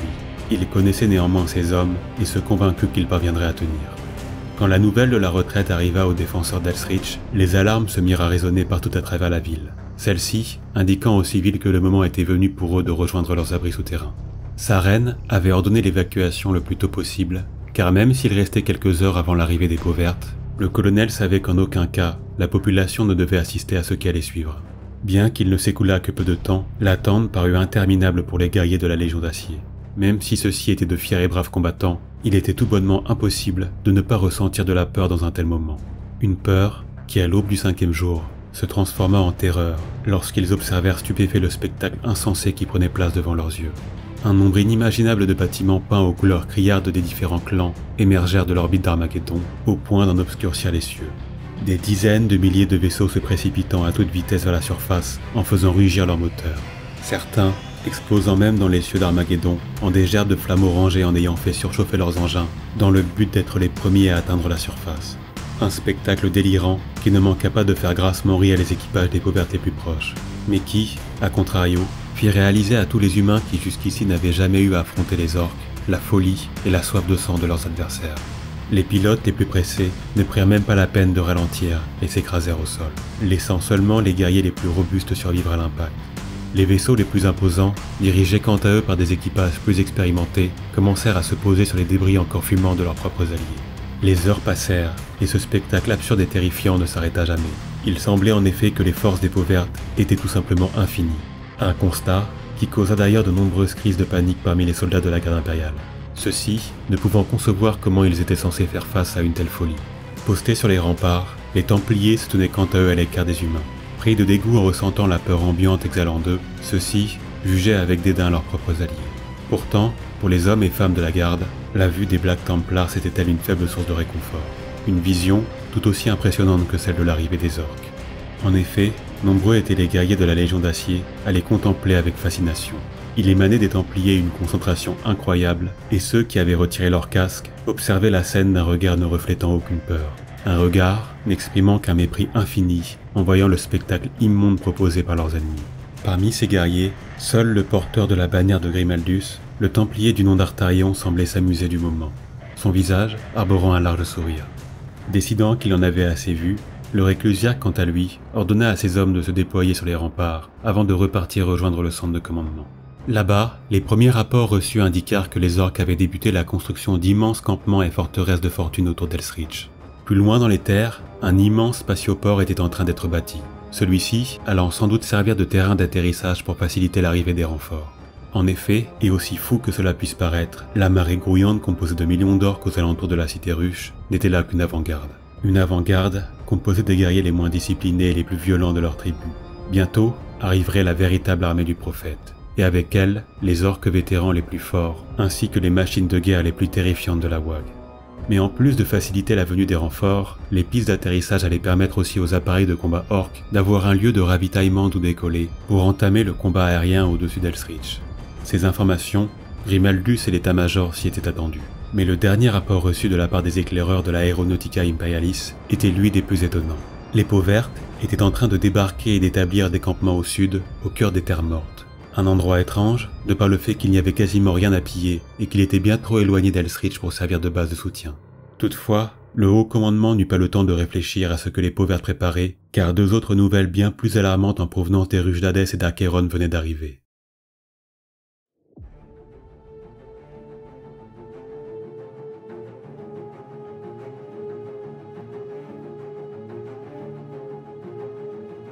L'armée colossale que Gascoul avait été en mesure de lever n'était là que la première des surprises qu'il avait révélées à l'Imperium. En effet, durant les 50 dernières années, le chef de guerre avait préparé son plan pour prendre sa revanche, et c'est avec une satisfaction non feinte qu'il le dévoila aux yeux de tous. Depuis son retour dans le système quelques mois auparavant, l'état-major d'Armageddon avait toujours pensé que le prophète allait focaliser son assaut au sol sur Hadès afin d'effacer l'humiliation de sa défaite lors de la précédente guerre. Pourtant, il n'en fut rien. Durant les décennies ayant précédé son invasion, le seigneur de guerre avait chargé ses Boys les plus compétents de développer de puissants rayons tracteurs afin d'en équiper les immenses Space Hulk composant sa flotte. Lorsque ces vaisseaux monstrueux arrivèrent en orbite d'Armageddon, ceux-ci traînaient derrière eux d'immenses astéroïdes dont la taille allait de plusieurs dizaines de mètres à des centaines pour les plus gros. De par les premiers contacts que ces armées avaient eus avec les orques primitifs à s'être développés sur Armageddon durant l'entre-deux-guerres, Gascoul reçut la confirmation que, comme il l'avait pensé, les forces de l'Imperium s'étaient rassemblées en nombre pour préparer Hadès à un nouveau siège. C'est alors qu'avec un sourire satisfait, il avait ordonné à sa flotte de réduire la cité ensemble. Durant des heures, un déluge de roches et de débris colossaux s'était alors abattu sur Hadès, jusqu'à faire rompre les boucliers énergétiques la protégeant. Sans protection, les astéroïdes avaient rasé la cité, la réduisant en un tas de ruines et pulvérisant les forces impériales laissées à la défendre. La chute d'Hadès fut un choc cataclysmique pour l'état-major. La plus grande cité du monde, l'un des points cruciaux du dispositif de défense, venait de tomber et avec elle, des millions de soldats de la garde et un nombre incalculable de civils venaient de périr alors que l'invasion avait à peine commencé. Pourtant, à cette tragique nouvelle s'en ajouta une seconde. Toujours aussi rusé, Gaskul, via les orques primitifs restés sur Armageddon, était parvenu à entrer en contact avec le précédent seigneur planétaire de ce monde. Après la dernière guerre, Hermann von Straub et sa suite avaient été obligés de fuir et de se cacher pour éviter d'être jugés pour les erreurs tragiques qu'ils avaient commises.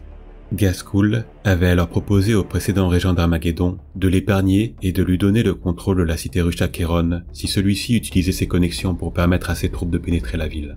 Voyant là une chance de se venger de l'Imperium et de retrouver son rang, von Straub accepta et parvint, suite à de nombreuses manipulations parmi les nobles de la cité, à les convaincre que s'allier aux orques était le seul moyen d'avoir la vie sauve. Ainsi, suite à la chute d'Hadès, ce fut au tour d'Acheron de se rendre. Des poches de résistance émergèrent bien au cœur de la cité mais celle-ci fut rapidement anéantie par les milices de von Straub et les ordres du prophète placés sous ses ordres. À ces nouvelles, un silence de mort s'abattit au sein du quartier général planétaire. Deux des cinq cités forteresses venaient de tomber, et rien ne pouvait être fait pour renverser la situation. La ligne de défense à l'est était brisée, et Armageddon Secundus était maintenant dans une situation critique où seuls Elsrich et quelques cités mineures empêchaient les orques de prendre le contrôle total du continent. L'ambiance était on ne peu plus sombre parmi les défenseurs d'Elsrich depuis le débarquement massif des orques. Mais l'inquiétude et la peur firent bientôt place au désespoir lorsque la nouvelle de la chute d'Hadès et d'Acheron commença à se propager. Au cœur des bivouacs parsemés à travers la cité, les soldats arboraient une mine sombre et triste. Personne n'osait parler, et seuls les bruits des premiers tirs d'artillerie en provenance des remparts pouvaient être entendus. Durant cette attente insoutenable, il n'arrivait qu'au loin résonnent les cris paniqués de ceux à avoir perdu l'esprit. Il était bien difficile d'en vouloir à ces misérables, et bien que leurs compagnons tentaient tant bien que mal de les calmer, ces supplices se terminaient bien souvent par le tir d'une arme à feu d'un commissaire, afin que la panique ne se répande pas davantage. C'est alors qu'au-dessus du bruit des tirs d'artillerie, commença à s'élever un cri tonitruant en provenance des plaines. Un cri à faire trembler les murs de la cité. Un rugissement poussé vers les cieux, où les orques exprimaient leur désir de violence et de carnage. Ce cri annonça l'arrivée des peaux vertes aux abords d'Elsrich. Un cri qui ne s'arrêta jamais au cours des minutes qui suivirent et qui devenait à chaque instant plus puissant. Les soldats se tenant sur les remparts les virent alors arriver en un spectacle à couper le souffle. Une marée verte, composée de dizaines de milliers de créatures, recouvrant les plaines à perte de vue avançait vers eux. Et, derrière elles, les cieux d'Armageddon continuaient d'être déchirés par l'arrivée incessante de nouveaux vaisseaux. Les Templiers observant la scène se tenaient quant à eux à l'écart, silencieux. Mais ceux-ci tournèrent bientôt la tête en voyant Grimaldus arriver sur les remparts d'un pas rapide. Celui-ci ne leur lança même pas un regard et se rendit là où il pourrait être vu par le plus grand nombre. Artarion et les autres guerriers de son escouade comprirent alors ce qu'il allait se passer. Ils comprirent que les guerriers d'Elsrich allaient enfin comprendre qui était Mereg Grimaldus. Le réclusiarque s'avança jusqu'au centre de la place forte surplombant le plus gros des remparts ouest. Devant et en dessous de lui se tenaient des milliers d'hommes et de femmes de la Légion d'Acier. Alors que son arrivée avait attiré l'attention de tous, Grimaldus passa quelques secondes à regarder les visages apeurés des soldats à lui faire face, puis leur posa une question d'une voix calme. Les voyez-vous? Déconcertés, personne n'osa répondre, et nombreux furent ceux à se lancer des regards confus en se demandant ce qu'ils voulaient dire tant cette question semblait absurde. N'ayant aucune réponse, Grimaldus cria sa question une nouvelle fois, ce qui poussa certains des guerriers les plus proches à lui répondre timidement par l'affirmatif. Fixant durant quelques instants les milliers de soldats à l'observer à travers son casque en forme de tête de mort, le réclusiarque se retourna afin de regarder la horde des peaux vertes arrivant vers lui. Grimaldus ferma alors les yeux et laissa la haine monter en lui. C'est alors qu'après quelques secondes d'un lourd silence, il commença à rire, à rire à gorge déployée. Se retournant vers les humains surpris par la scène, le réclusiarque leur posa une nouvelle question de sa voix amusée, leur demandant si eux aussi se sentaient autant insultés que lui en voyant cette armée de rebuts et de monstres envoyés pour les vaincre. Baissant les yeux vers le sol et secouant légèrement la tête, Grimaldus exprima son regret. Son regret de devoir demander à de si braves et valeureux guerriers de devoir ne serait-ce que gaspiller des munitions pour de si pathétiques créatures.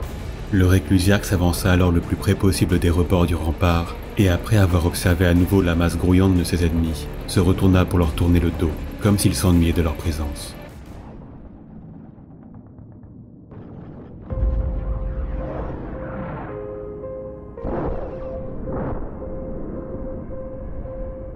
Regardant à nouveau vers les humains qui étaient de plus en plus nombreux à l'observer en silence, il posa une nouvelle question et leur demanda si ceux-ci connaissaient son nom. Quelques voix répondirent bien parmi les milliers, mais alors que les tirs d'artillerie orques éclataient dans les cieux et que les canons de la forteresse leur répondaient, le réclusiarque hurla sa question à nouveau, et cette fois, les milliers de soldats crièrent que oui. Sa voix emplie de colère face à cette hésitation il rappela à tous qui il était, qu'il était Grimaldus des Black Templars, un frère de bataille de l'invincible Légion d'Acier, et qu'il était venu ici pour se battre à leur côté jusqu'à la fin. Ce rappel de leur renommée provoqua les cris d'acclamation de la troupe, mais cela était néanmoins loin d'être suffisant pour Grimaldus. L'amusement et la colère le quittèrent pour parler d'une voix forte et calme, expliquant à ses frères et sœurs rassemblés devant lui que jamais leurs actes n'auraient autant d'impact que maintenant, qu'aucun devoir n'aurait tant d'importance, qu'aucune gloire n'égalerait le prestige de la bataille à venir. Plus qu'une bataille, une chance, une chance unique d'entrer dans l'histoire, d'être parmi ceux à avoir combattu à Elsrich et à avoir fait face à l'un des plus grands défis de l'histoire de l'impérium des hommes. Finalement, il les fixa et leur demanda s'ils se battraient à ses côtés. Artarion et ses frères de bataille sourirent en réalisant le miracle qui était en train d'avoir lieu. À la question du réclusiarque, les soldats de la Légion hurlèrent à l'unisson qu'ils allaient se battre. Grimaldus répéta une nouvelle fois sa demande plus fort, et la réponse fut d'autant plus puissante. Reprenant alors la parole, il leur expliqua que cette bataille dépassait leur devoir, qu'ils allaient se battre pour eux, pour leur monde et pour leur terre. Finalement, il leur posa une ultime question et leur demanda s'ils allaient laisser ces Xénos massacrer leurs proches, leurs familles, leurs amis, et cela sans rien faire. Mais cette fois-ci, il ne leur laissa pas le temps de répondre et leur promit que jamais il ne permettrait cela, qu'il était venu ici pour se battre et pour mourir à leur côté, et qu'ensemble, ils jetteraient les cadavres de leurs ennemis du haut de ces murs jusqu'à que le dernier jour ne soit venu. À la fin de sa phrase, une vague de bruit vint s'écraser contre son armure. Nombreux étaient ceux à pleurer, à l'applaudir ou à crier leur envie de se battre. Observant une dernière fois les hommes et les femmes d'Elsrich, Grimaldus leva son arme vers les cieux embrasés d'Armageddon avant de les inciter à hurler leur haine à leurs ennemis. Un déchirement de cris se fit entendre, mais ce n'était toujours pas assez, et le réclusiarque les poussa à hurler plus fort, plus fort afin que les pathétiques créatures arrivant vers eux puissent entendre leur fureur. Les cris redoublèrent alors d'intensité, un vacarme hallucinant qui fit trembler les remparts et qui résonna à travers toute la cité. Se retournant vers la plaine d'où arrivaient les peaux vertes, Grimaldus s'avança à nouveau et se remit à rire. Alors que les cris et les acclamations de la Légion d'Acier n'en finissaient pas, il continua de rire en ouvrant les bras, comme pour accueillir ses ennemis. Et d'une voix amusée, il hurla au pitoyable Xénos en dessous de lui de venir, de venir mourir de la main de Grimaldus des Black Templars. Se remettant à rire, les soldats hurlèrent le nom de Grimaldus pendant de longues minutes. Et, finalement, la bataille pour Elsrich débuta.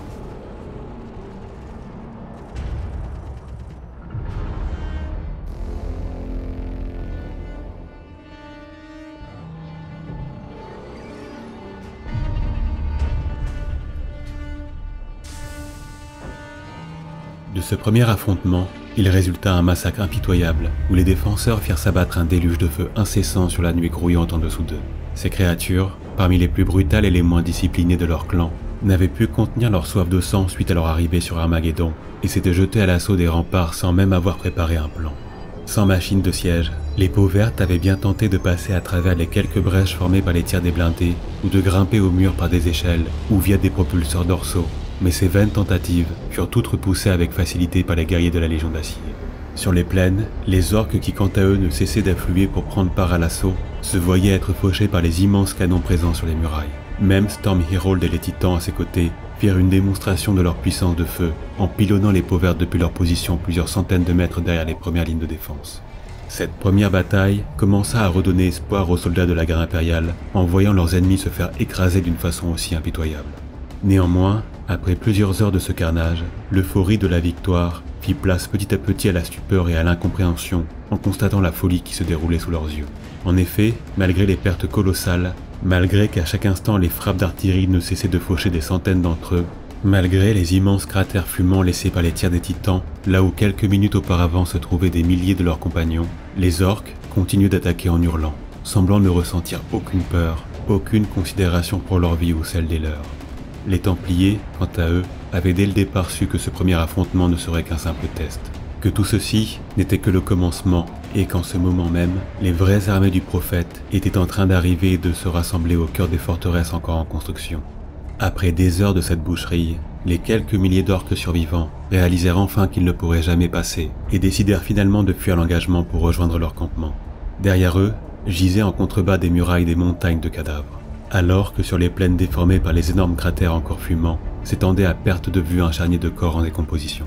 Les célébrations de cette première victoire furent cependant bien courtes pour les défenseurs, car au loin, les vaisseaux de transport ne cessaient d'arriver et de déverser toujours plus de renforts.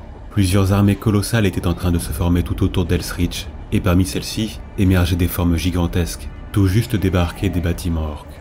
Des machines de guerre portant le nom de Gargante.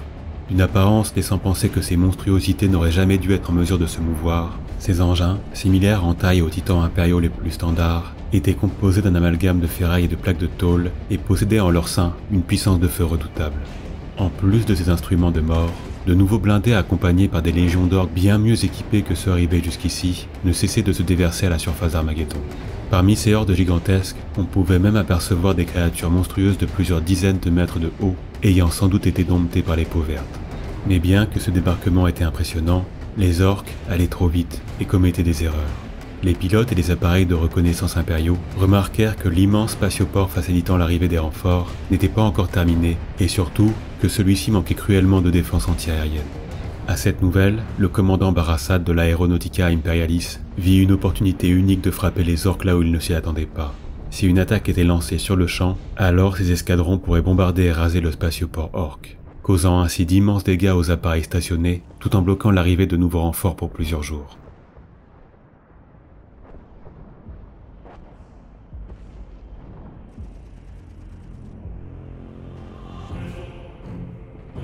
Ce plan possédait des risques immenses, car bien que ces appareils allaient survoler le champ de bataille, il se trouvait entre eux et le spatioport, les hordes des orques possédant de l'artillerie à même de servir de DCA.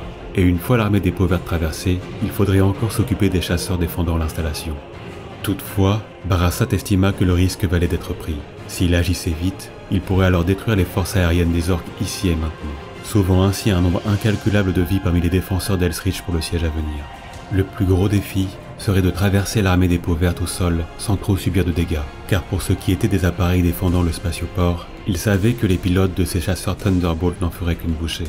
Mais alors qu'il fallait agir maintenant au risque de voir les orques renforcer leur défense, le colonel Saren s'opposa à ce plan qu'il jugea suicidaire.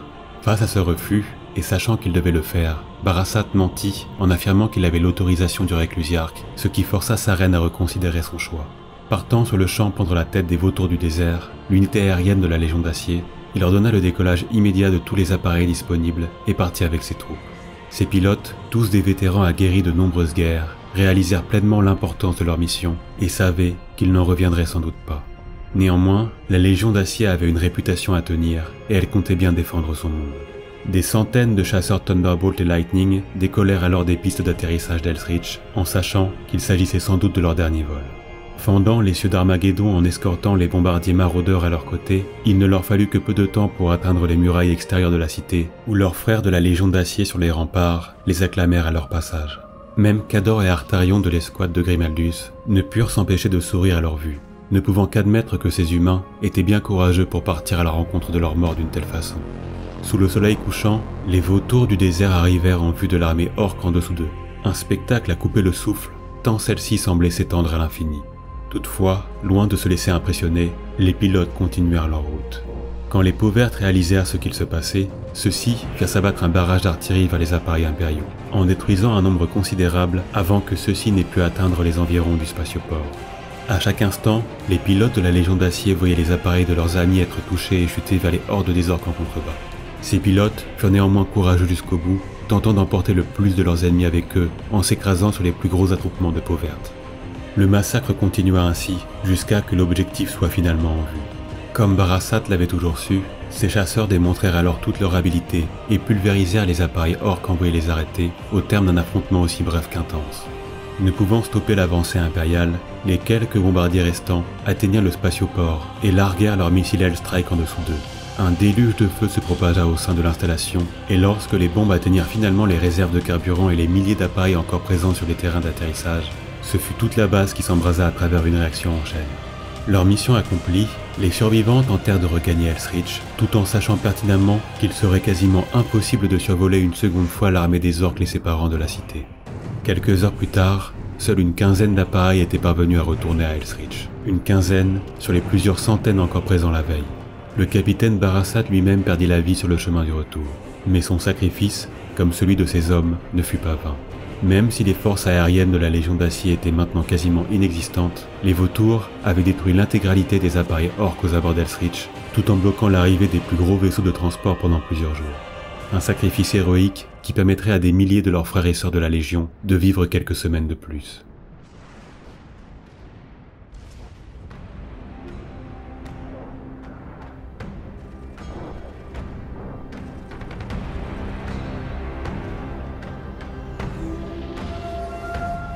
À la tête des forces chargées de prendre Elstrich se trouvaient les chefs de clan les plus brutaux et impitoyables à avoir prêté allégeance au prophète. Des créatures massives et rusées, à même de faire obéir les différentes bandes de guerre en dessous d'eux, de par la cruauté et la violence dont ils pouvaient faire preuve. Bien que furieux de la destruction du spatioport, ceux-ci n'étaient pourtant nullement inquiets à l'idée de décevoir Gascoul. La perte de leur force aérienne était certes un coup dur, mais les terrains d'atterrissage nécessaires au débarquement de nouveaux blindés et des gargantes seraient à nouveau opérationnels d'ici une semaine. De plus, même si le débarquement des véhicules lourds était pour le moment interrompu, des hordes de guerriers vétérans ne cessaient quant à eux d'arriver à chaque instant depuis les vaisseaux de transport légers pour grossir les rangs des armées amassées autour d'Elsrich. Après avoir subi deux défaites au cours des derniers jours, il était maintenant temps de faire comprendre aux humains que leur récente victoire avait été insignifiante et qu'ils allaient maintenant connaître une guerre comme jamais ils l'en avaient vue. À l'aube du septième jour, les différentes armées entourant Elsrich lancèrent leur assaut. Une offensive coordonnée et massive visant à briser la première ligne de défense et à entrer dans la cité. Dans un premier temps, les milliers de pièces d'artillerie et de blindés rassemblés autour d'Elsrich firent s'abattre un déluge incessant de projectiles sur la ville basse et les murailles extérieures. Le fait de ne pas concentrer ses attaques sur les remparts était un acte délibéré afin de causer le plus de confusion possible parmi les défenseurs. En effet, à chaque instant, les immenses bâtiments des bidonvilles s'effondraient avec fracas en provoquant un déluge de gravats et de nuages de poussière, causant un chaos inimaginable au sein de la cité. Les éboulements provoqués par ces destructions emportèrent avec eux d'innombrables vies parmi les soldats bivouaquant dans le secteur. Les ondes de choc provoquées par le bombardement firent quant à elles s'effondrer de nombreux abris souterrains où s'étaient réfugiées les familles de civils les plus pauvres, enterrant vivants ces misérables. À chaque instant, des milliers de soldats mouraient écrasés par les morceaux de béton pleuvant sur eux, déchirés par les bombes des orques ou encore emportés par les incendies qui ne cessaient de se déclencher au sein de la cité. Pourtant, malgré que l'enfer se déchaînait sur Elsrich, les soldats de la Légion d'Acier ne paniquèrent pas et tenirent la ligne. L'attente avait été éprouvante, mais le discours du Réclusiarque et le fait de maintenant faire face à leurs ennemis les poussèrent à combattre et à honorer leur serment. Mais alors que les canons des orques continuaient de faire rouler le feu, les différentes armées des pauvertes commencèrent à avancer sur les plaines menant à Elsrich. Toutefois, contrairement au premier assaut, les chefs de bande parvinrent cette fois à contrôler les guerriers sous leur commandement, les forçant à ralentir le temps que les gargantes aient fait leur travail. Les machines de guerre géantes traversèrent alors le champ de bataille, se rapprochant des murailles avant de déclencher une série de tirs qui pulvérisèrent des pans entiers des remparts. Chacune des explosions emporta avec elle des centaines de guerriers tout en faisant s'abattre un déluge de roc béton sur les défenseurs. C'est alors que le moment tant attendu pour les peaux vertes arriva finalement. Pouvant laisser parler leur fureur, les hordes d'orques équipées de bolters et de haches monstrueuses se déversèrent à travers les brèches, se répandant de toutes parts à travers la cité ruche. Un combat qui allait durer plusieurs jours débuta alors au sein des bidonvilles d'Elsrich, avant de se propager aux différents quartiers de la ville basse. Ce bain de sang voyait les peaux vertes se jeter sur les soldats impériaux en hurlant leur rage ou en riant en ressentant la joie de pouvoir se battre à nouveau. Une lutte intense qui vit toutefois les guerriers de la Légion d'Acier faire honneur à leur réputation en se battant avec acharnement pour contenir la marée des peaux vertes. Pour les orques, ces premiers jours de conflit furent un véritable massacre. Avancer au sein de la cité était un calvaire. Les humains qu'ils combattaient étant retranchés derrière des barricades obstruant les allées ou positionnés au sein des innombrables bâtiments aux alentours afin de se servir de leur position avantageuse pour faire s'abattre un déluge de feu sur les assaillants. De plus, chaque percée des orques voyait les soldats de la Légion battre en retraite de façon disciplinée afin d'éviter d'être submergés, rejoignant ainsi les zones encore tenues par les impériaux avant d'immédiatement reprendre le combat. Là où les troupes étaient quant à elles le plus mises en difficulté, les divisions blindées intervenaient en envoyant des Hellhounds des sentinelles aider les défenseurs, pendant que les tanks Lehman Russ prenaient en chasse les blindés des orques. Malgré cette défense acharnée, la marée des peaux vertes ne cessa jamais d'avancer au cours des jours qui suivirent jusqu'au moment où les défenseurs furent bientôt menacés d'être submergés. En effet, l'arrivée de nouveaux renforts directement débarqués depuis l'orbite n'en finissait pas. Et bien que ceci aurait déjà largement suffi pour écraser les forces impériales, les chefs de clan, après avoir laissé les guerriers les plus inexpérimentés encaisser le plus gros des pertes, décidèrent d'accélérer leur assaut en déployant leurs vétérans pour en finir et enfin prendre le contrôle de la ville basse. Ces monstruosités au corps massif et équipées d'armes lourdes firent des ravages dans les rangs des défenseurs, tout en réorganisant les peaux vertes en dessous d'eux. Mais alors que les orques commençaient à avancer sur tous les fronts, la situation s'aggrava encore lorsque de nombreux rapports indiquèrent que de plus en plus de gargantes étaient aperçus en train d'arpenter les rues de la cité. Chargés de s'occuper de ces engins de mort, les titans de la Legio Invigilita enchaînèrent sortie sur sortie pour soulager les défenseurs, ne rentrant à leur base que pour être réapprovisionnés en munitions. Chassant en meute, les titans Warlords avançaient au cœur des ruines de la cité, protégés par plusieurs titans Rivers plus petits et mobiles. Habitués à affronter les menaces les plus importantes des armées ennemies, ceux-ci causèrent de lourdes pertes aux machines de guerre orques. Toutefois, malgré le talent indéniable des princeps de la Légio, il semblait que pour chaque gargante détruit, deux nouveaux arrivaient pour le remplacer. Storm Herald, quant à lui, comptait déjà à son tableau de chasse plus de 20 gargantes parmi les plus puissants de la WAG. Se battant depuis maintenant des jours à travers les flammes et les volutes de fumée s'élevant des quartiers en ruine, l'esprit de la machine de ce dieu de la guerre rugissait de plaisir en ressentant la joie que lui apportait cette bataille. Une joie qu'il n'avait plus connue depuis des siècles et qui à chaque instant renforçait sa volonté de combattre. Face à un tel déchaînement d'émotions violentes, l'esprit de la princeps Majorizara faillit être submergé. Épuisé par des jours à lutter tout en contenant l'esprit de la machine, la fatigue et les pensées du dieu qui se mélangeaient aux siennes ne lui firent pas réaliser le piège dans lequel elle était tombée. Trop sûr de soi et n'écoutant pas les rapports des autres titans le protégeant, Storm Herald tomba dans une embuscade adroitement préparée, où plusieurs gargantes sortirent des décombres pour attaquer le colosse de toutes parts. Suite à la perte de son escorte, les machines de guerre orques firent s'abattre un déluge de feu sur le titan, qui vit ses puissants boucliers être détruits face à la violence de l'assaut. Bien que vulnérable, Storm détruisit plusieurs de ses assaillants avant de tomber à genoux sur le sol d'Elsrich. À sa chute, des dizaines de bâtiments s'écroulèrent en provoquant un immense nuage de poussière. Traversant la fumée entourant le corps du géant, des nuées de peau verte arrivèrent de toutes parts et commencèrent à grimper sur le colosse avant de s'infiltrer en son sein.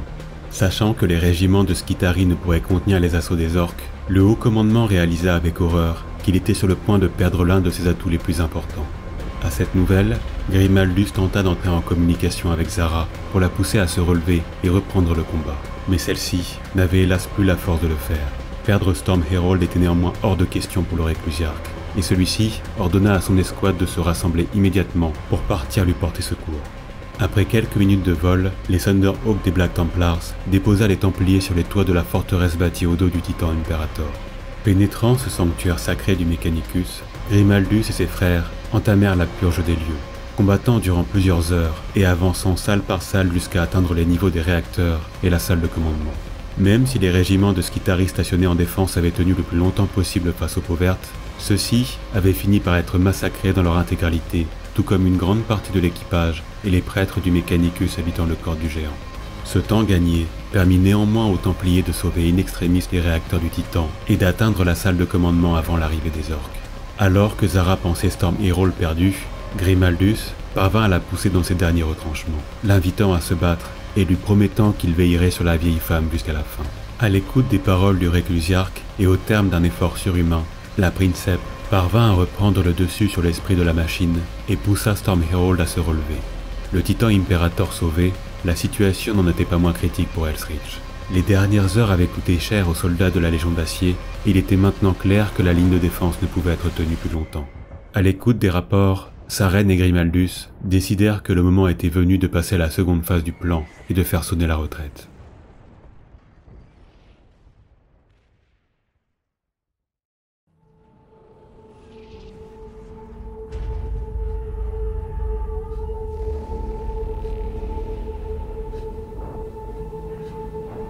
Suite à la retraite des régiments de la Légion d'Acier, les ghettos et quartiers de la ville basse furent abandonnés à leur sort. Et bien que ceux-ci étaient censés être vidés de toute présence civile, le haut commandement savait que la réalité était hélas tout autre. N'ayant pu rejoindre les abris souterrains situés derrière les remparts intérieurs, des dizaines de milliers de familles furent prises au piège au sein des secteurs maintenant contrôlés par les orques. Des milices composées des membres des gangs d'Elsrich se formèrent bien afin de mener une lutte de guérilla dans les sous-sols de la cité ruche. Mais la grande majorité des civils, quant à elle, fut impitoyablement exterminée. Lorsque les pauvres trouvèrent les abris de fortune où se cachaient ces malheureux, ceux-ci prirent un plaisir sadique à massacrer ces familles les unes après les autres. Des scènes d'une barbarie sans nom prirent alors place partout à travers la cité.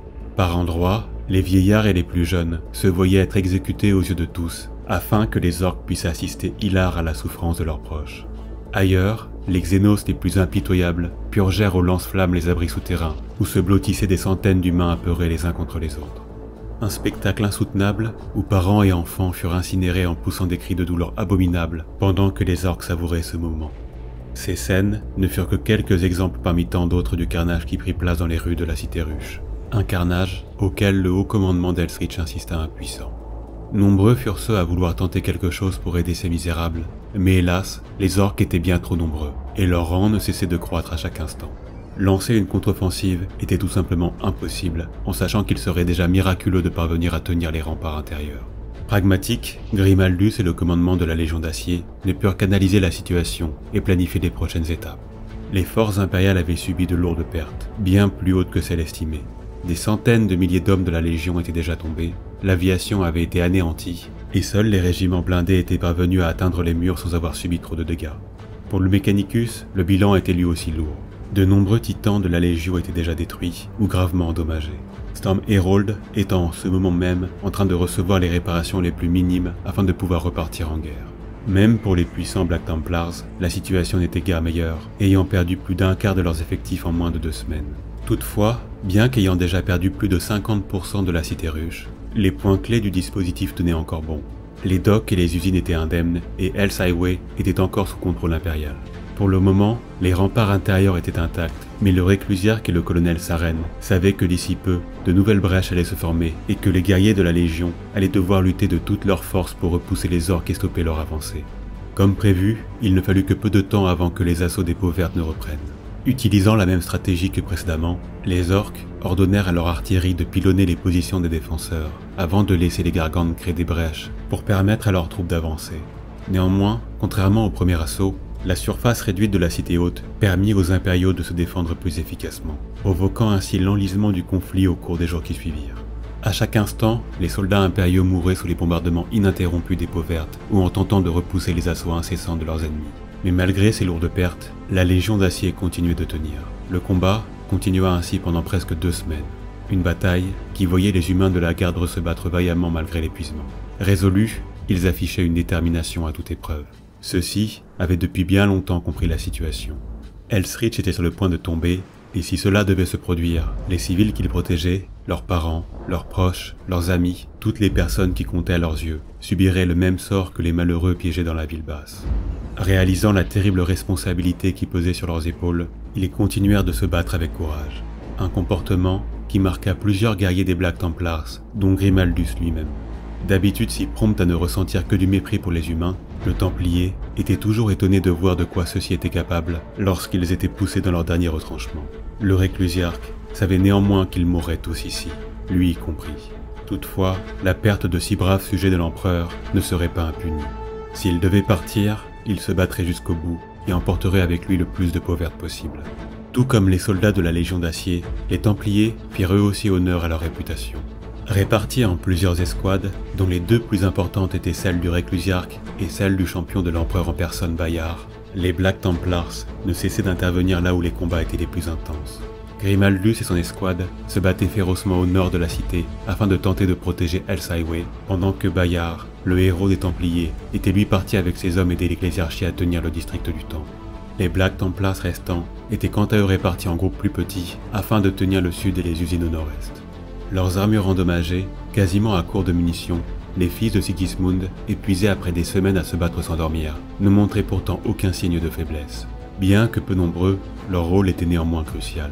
Ceux-ci enchaînaient les déploiements via leur Thunderhawk pour aller aider les guerriers de la Légion d'Acier, là où ceux-ci étaient sur le point de céder. Se battant avec une fureur froide, la vue des anges de la mort était un spectacle à couper le souffle, et à même de redonner espoir à tous les guerriers à qui ils étaient venus apporter leur aide. Pourtant, ces semaines de bataille ne firent qu'aggraver leurs pertes, et c'est lors de l'une de ces sorties que l'escouade de Grimaldus perdit son premier membre. Tombé dans une embuscade, le sergent Cador succomba aux assauts de plusieurs orques qui déchirèrent son corps de leurs haches, la perte de ce guerrier respecté de tous pour son calme et son humilité provoqua la fureur de Priamus, l'épéiste de Grimaldus, et la tristesse de tous les Templiers, dont notamment celle de son frère d'armes Nérovar. Pourtant, les guerriers du Réclusiarque n'eurent pas le temps de s'apitoyer et jurèrent de venger sa mort en faisant s'abattre leur fureur sur les peaux vertes. Mais malgré les innombrables interventions, malgré ces semaines de luttes incessantes, le constat était implacable. Rien n'était en mesure d'arrêter les orques, et Hell's Highway était sur le point d'être perdu.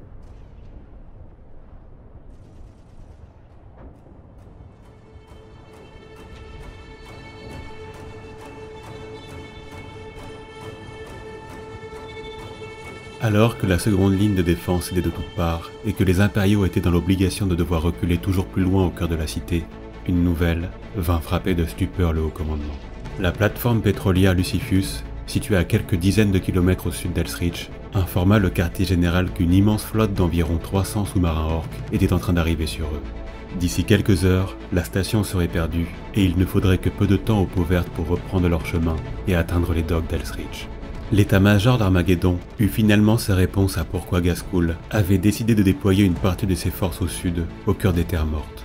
Le seigneur de guerre savait que la prise d'Elsrich était un élément crucial de son plan, et bien qu'il ne se chargeât pas personnellement de l'assaut, étant trop occupé à gérer l'invasion planétaire, il avait étudié les points faibles de la cité ruche et avait su que s'il coupait son approvisionnement en carburant, il pourrait d'une part priver les défenseurs de ressources inestimables pour tenir le siège, et d'autre part un second front à l'est de la ville, là où ses ennemis ne l'attendaient pas.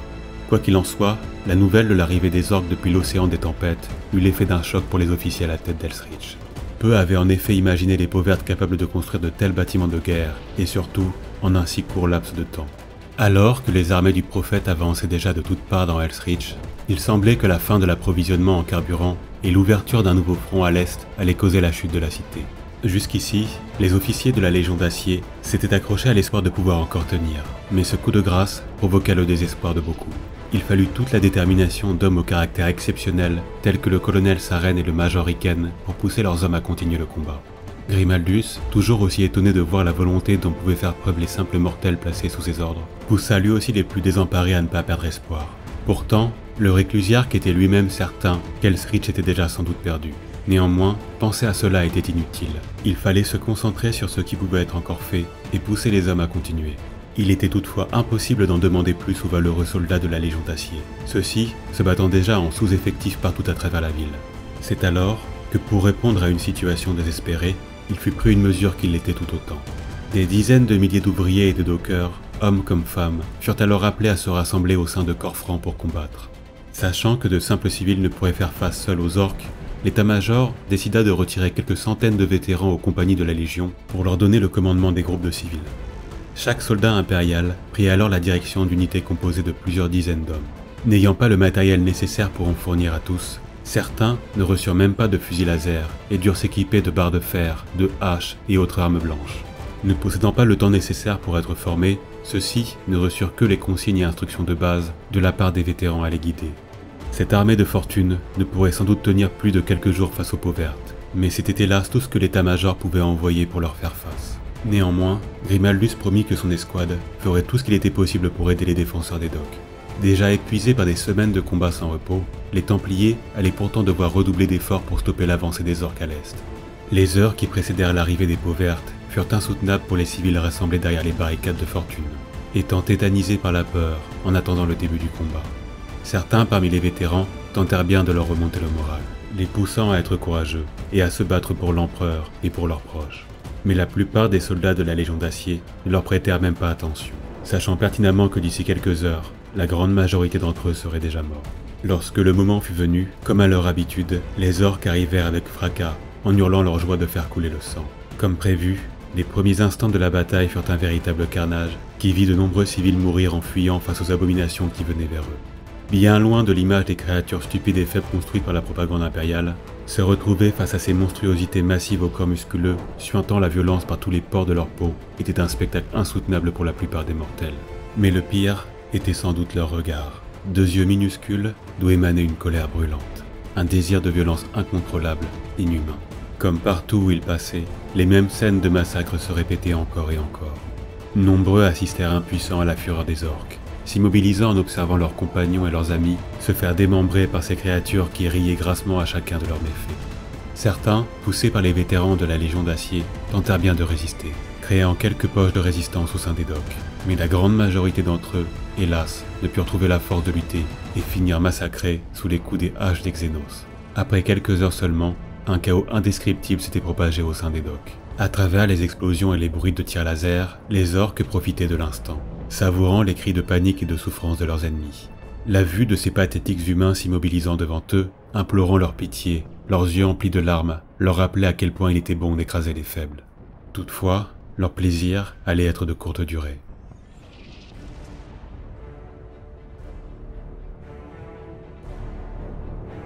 Des géants en armure noire arrivèrent vers eux, en traversant la foule de civils paniqués qui fuyaient le combat. La vue de ces lâches s'écartant à leur passage ne provoqua que le mépris des Templiers. Mais en soi, rien de comparable à celui qu'ils ressentaient pour les créatures répugnantes à leur faire face. Voir ces Xénos se réjouir de la souffrance et de leur victoire sur des créatures aussi faibles était une offense inacceptable.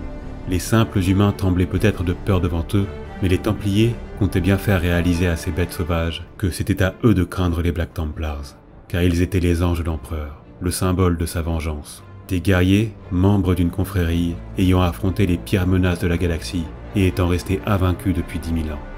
D'un pas assuré, leurs épées enroulées par des chaînes à leurs poignets, les guerriers de l'escouade de Grimaldus ne purent retenir leur fureur plus longtemps et s'élancèrent vers la horde des peaux vertes. Nombreux parmi les civils fuyant le combat ne purent que s'arrêter pour observer la scène.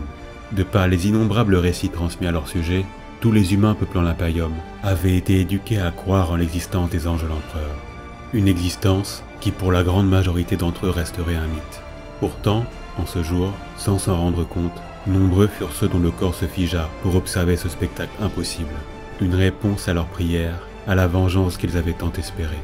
Loin de la représentation noble et grandiose qu'ils avaient imaginée, les Astartes se battaient avec une violence dépassant même celle des orques tranchant leurs ennemis de leurs gigantesques épées dans des mouvements rapides et nets, pendant que par endroits, certains de ces guerriers massacraient de leurs simples mains les créatures à leur faire face, arrachant leurs trachées de leurs gantelets, leur écartant leurs immenses mâchoires jusqu'à les déchirer ou en brisant leurs crânes de leurs casques.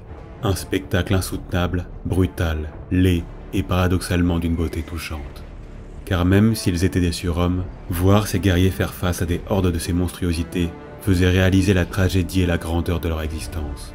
Des existences passées à lutter seules dans les ténèbres, à faire face aux pires menaces, à risquer leur vie à chaque instant, et à se sacrifier pour protéger l'humanité afin que celle-ci perdure, et que le rêve de leur maître demeure intact ne serait-ce qu'un jour de plus.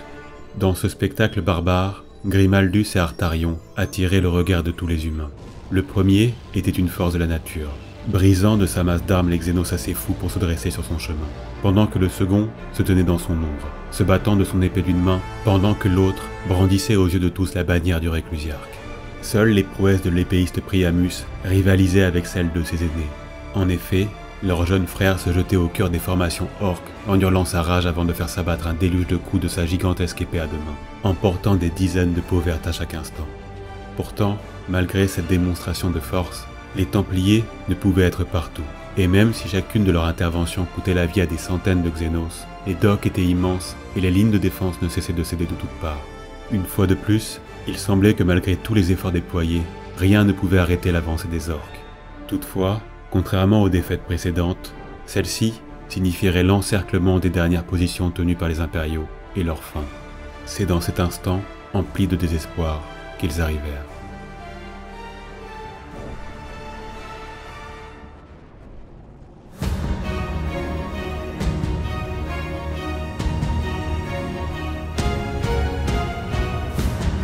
Alors que les docks étaient sur le point de tomber, Grimaldus et ses frères, retranchés au cœur des installations, observaient les dizaines de traînées de feu arrivant vers eux en fendant le ciel. Traversant les nuages de fumée s'élevant du quartier du port, les appareils s'écrasèrent en faisant s'effondrer sur eux-mêmes plusieurs bâtiments en ruine aux alentours. Le bruit des impacts martelant le sol était un son que le réclusiarque ne connaissait que trop bien. Un son qui, couplé aux ondes de choc, ne pouvait signifier qu'une seule chose l'arrivée de drop pod de la D Astartes. C'est alors qu'à travers les nuages de poussière entourant la zone de leur arrivée, se dessina la silhouette de géants en armure. Émergeant des décombres de leurs pas lourds, des colosses encore plus grands que les Templiers se déployèrent. Leur taille, héritage de leur primarque, tout comme leur visage couleur obsidienne et leur regard semblant constamment animés par les flammes, ne laissaient aucun doute sur leur identité. Voyant avancer vers eux ces géants aux armures vertes, les groupes d'orques étant parvenus à submerger les défenseurs des docks, délaissèrent leur proie pour se jeter à l'assaut de ces nouveaux arrivants. Un acte insensé pour ces créatures, qui ne réalisèrent pas à quel point le fait de s'attaquer au corps à corps à des guerriers des Salamanders n'était que pure folie. Ne leur laissant même pas le temps de s'approcher, les fils de Vulcan firent s'abattre de leurs gantelets un torrent de feu prométhéen sur les Xénos. Submergés par les flammes, même des êtres aussi robustes que les orques ne purent hurler leur douleur à travers des cris porcins en sentant leur peau fondre et se mêler au métal en fusion de leurs armures. À travers les flammes et la fumée, les géants, ne semblant ressentir aucune gêne de par la chaleur suffocante s'élevant des incendies, continuèrent leur lente et implacable marche, écrasant sous leurs pas les cadavres calcinés de leurs adversaires. Atteignant après quelques minutes les zones où les défenseurs se battaient encore, les 70 Salamanders rassemblés en ce lieu se pressèrent d'aller porter secours aux humains tenant les poches de résistance. À leur arrivée, les civils apeurés se battant au sein des docks ne purent que réaliser, étonnés, à quel point leur sauveur était différent de l'image attachée aux guerriers de la Dépus Astartes. Contrairement à leurs frères des autres chapitres, qui n'éprouvaient bien souvent que du mépris pour les simples mortels, les Salamanders, malgré leur apparence impressionnante, ne montraient eux que bienveillance et gentillesse envers ceux-ci, protégeant les plus faibles au péril de leur vie, tout en tentant de motiver et de redonner du courage aux défenseurs. Bien que d'intenses combats eurent lieu au cours des heures qui suivirent, les peaux vertes ne purent faire face à la force écrasante des fils de Vulcan et furent forcés de reculer jusqu'à former une nouvelle ligne de défense au cœur des docks. La situation maintenant stabilisée, le sergent Brett des Salamanders se rendit devant le réclusiaire lui présenter ses respects lui expliquant qu'il était honoré de pouvoir servir aux côtés des Templiers d'Elbrecht. Grimaldus, bien qu'agacé d'avoir été secouru par des guerriers autres que ses frères, exprima néanmoins sa sincère gratitude au Salamander et lui demanda par quel miracle celui-ci était parvenu à atteindre Elsage. Le sergent expliqua qu'en ce moment même, la flotte impériale était en train d'entamer une série de contre-attaques en vue d'affaiblir l'armada des peaux vertes.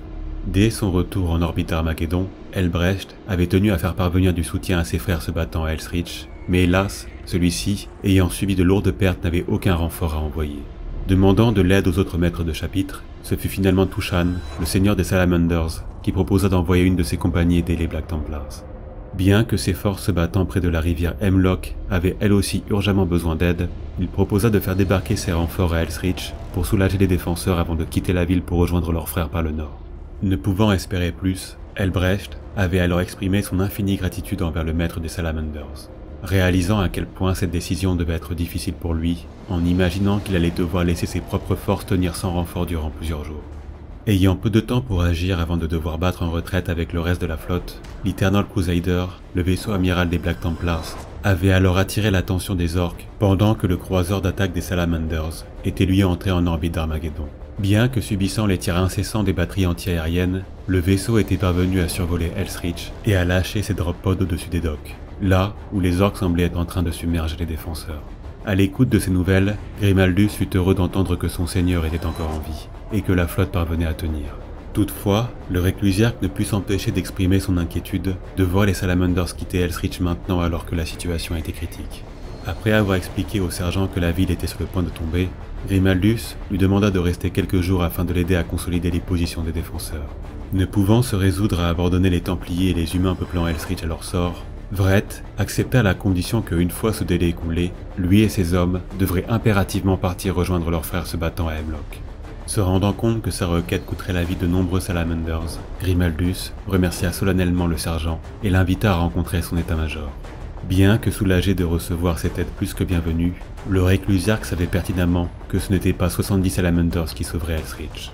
Se séparant en plusieurs escouades, les fils de Vulcan, épaulés par les Black Templars, firent tout ce qu'il était dans leur pouvoir au cours des jours qui suivirent pour apporter leur aide aux défenseurs. Enchaînant les sorties pour protéger les quelques tronçons d'El encore sous le contrôle de la Légion d'Acier, la vue des Salamanders se battant aux côtés des Templiers était un spectacle des plus impressionnants, mais un spectacle qui tourna bien vite au drame. Il ne fallut en effet que peu de temps pour que les guerriers du Réclusiarque ne réalisent à quel point leurs cousins des Salamanders étaient différents d'eux. Ceux-ci, délaissant volontairement les objectifs définis par les Templiers et ralentissant les contre-attaques, au profit de la protection des civils et des guerriers de la Légion d'Acier. Se soucier autant des humains ne fit qu'attirer l'agacement des Black Templars. Un agacement se transforma en colère lorsque, au cours d'un énième engagement, Grimaldus poussa les forces sous son commandement à poursuivre un chef de guerre orc en fuite. Un objectif sensé, car la mort d'une telle créature causerait la confusion de toutes les peaux vertes du secteur et permettrait de gagner beaucoup de temps. Pourtant, alors que celui-ci pressait ses guerriers d'attaquer, Vret ordonna à lui et à ses frères de tenir la position afin de défendre un abri de civils menacés par l'ennemi.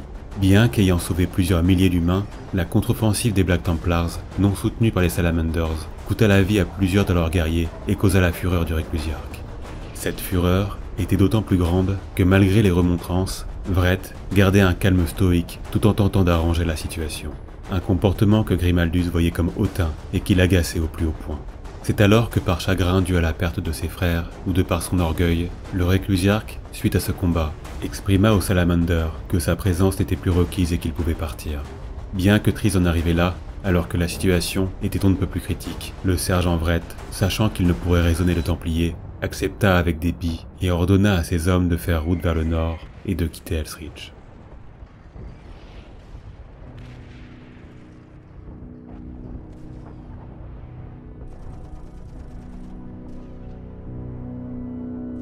Les semaines qui suivirent le départ des Salamanders virent les forces impériales subir défaite après défaite de la part des orques.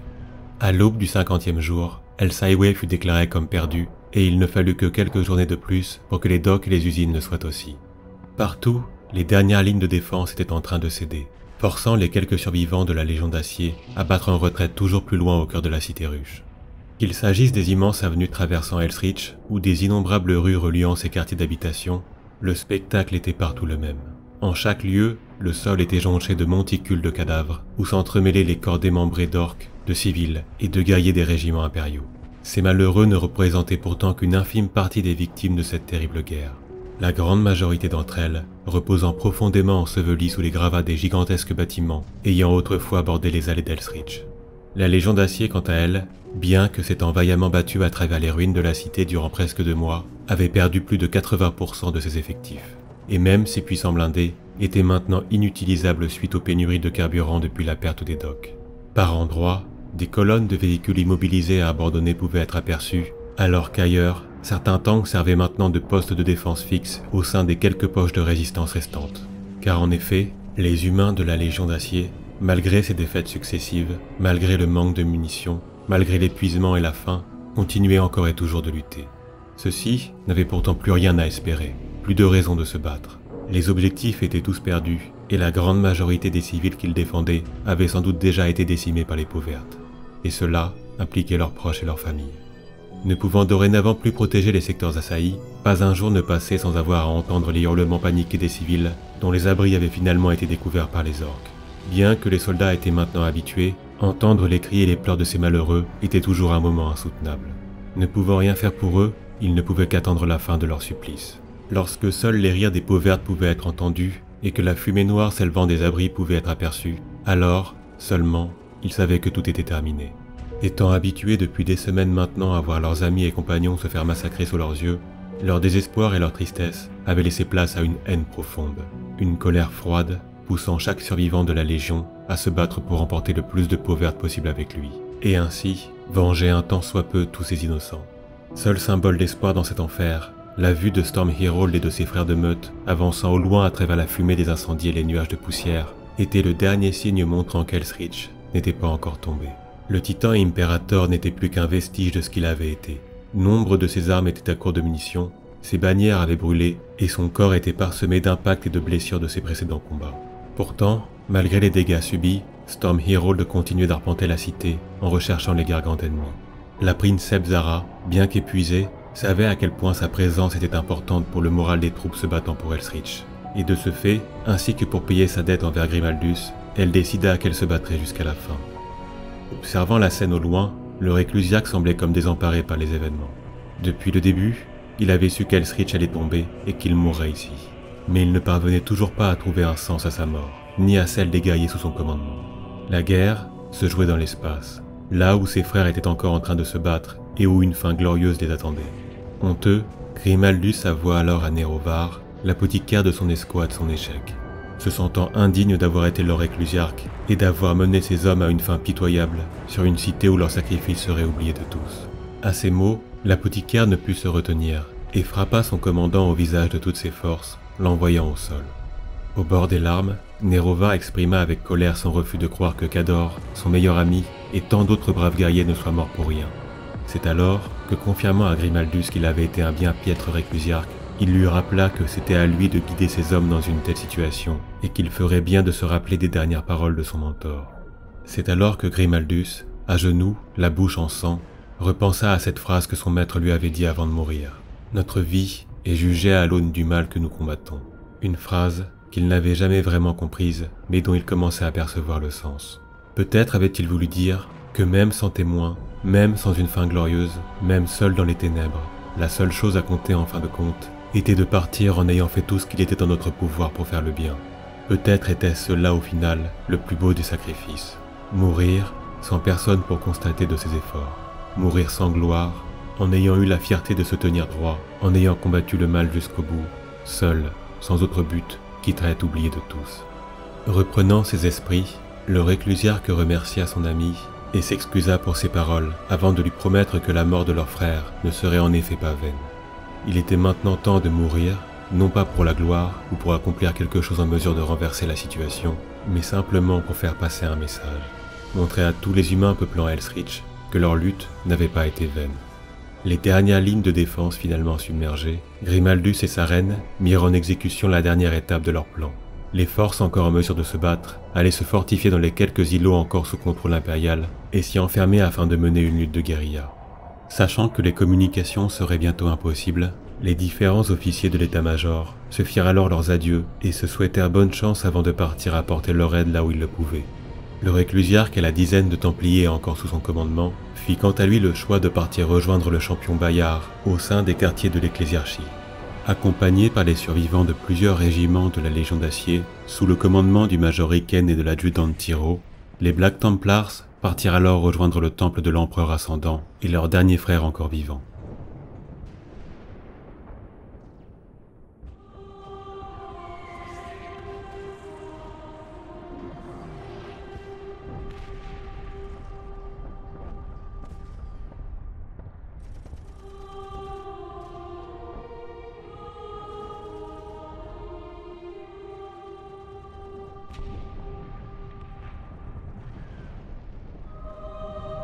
Le temple de l'empereur ascendant était l'édifice le plus ancien et le plus sacré de tout Armageddon. Un édifice bâti il y a des millénaires de cela par les premiers colons à être arrivés sur ce monde. Au fil du temps, ce lieu avait été transformé jusqu'à devenir un sublime et immense sanctuaire. Un endroit d'une importance capitale pour les habitants d'Elsrich et pour leur foi. Protégé par de gigantesques murailles entourant le plus grand cimetière de ce monde, le temple de l'empereur trônait au milieu de ce lieu sacré où chaque jour avant le début de ce terrible conflit, des dizaines de milliers de pèlerins venaient rendre hommage à leur dieu ou honorer les êtres chers qu'ils avaient perdus. C'est ici que Grimaldus avait décidé de venir mourir, un lieu pieux dont les immenses travées gothiques lui rappelaient avec nostalgie les salles de prière de l'Eternal Crusader. Néanmoins, sa fin n'était pas encore venue et il avait encore un dernier combat à préparer. Accueilli par la chanoinesse Sindal de l'Ordre du Sueur d'Argent, une vieille femme au caractère bien trempé ayant en charge la protection de ce lieu, le réclusiarque après avoir présenté ses respects à la sœur, lui proposa son aide afin d'organiser les défenses du temple. Les jours suivants permirent de réorganiser les restes des différentes unités de la Légion d'Acier affluant vers le temple pendant que les sœurs, elles, s'occupaient des civils ayant fui leurs abris, les invitant à se protéger dans les sous-sols du sanctuaire. C'est lors de sa visite du temple, en arpentant ces souterrains surpeuplés par les réfugiés, que Grimaldus put assister à un spectacle qui le marqua au plus haut point. Malgré le fait que la grande majorité des civils ici présents semblaient apeurés et abattus par la situation, par endroits, tels les lumières au cœur des ténèbres, des hommes et des femmes continuaient de se montrer courageux, apportant leur aide aux blessés et remontant le moral au plus défait.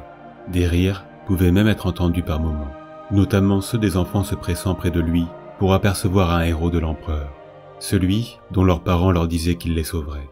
Le réclusiarque ne parvenait décidément pas à comprendre cette espèce qui pouvait être capable de tant de lâcheté, mais aussi de tant de courage dans les moments les plus sombres.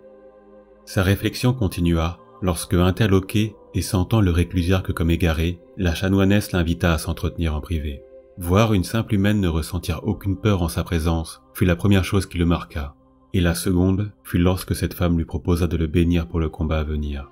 Ne sachant vraiment trop pourquoi, Grimaldus avait accepté, et après avoir reçu l'eau purificatrice, il fut amené dans une petite pièce située dans les tréfonds du temple. Une pièce où la sœur lui montra les plus anciennes reliques de ce monde. Celle-ci n'avait rien de glorieux. Pas d'armes finement ornementées, pas de bijoux ou autres sculptures, mais de simples parchemins. Des textes écrits par les premiers colons étant arrivés sur Armageddon et ayant fondé cette cité. De simples récits racontant leurs périples, leurs doutes et leurs prières pour l'avenir. C'est en contemplant ces vestiges d'un autre temps que, l'espace d'un instant, un fragment de son humanité ressurgit. il y avait quelque chose de tragique et de touchant dans ces échos du passé. Tant d'hommes et de femmes s'étaient sacrifiés pour bâtir ce monde. Un monde laid, inhumain, mais leur monde néanmoins, leur legs aux générations futures. Des milliards d'êtres vivants avaient vécu et étaient morts ici.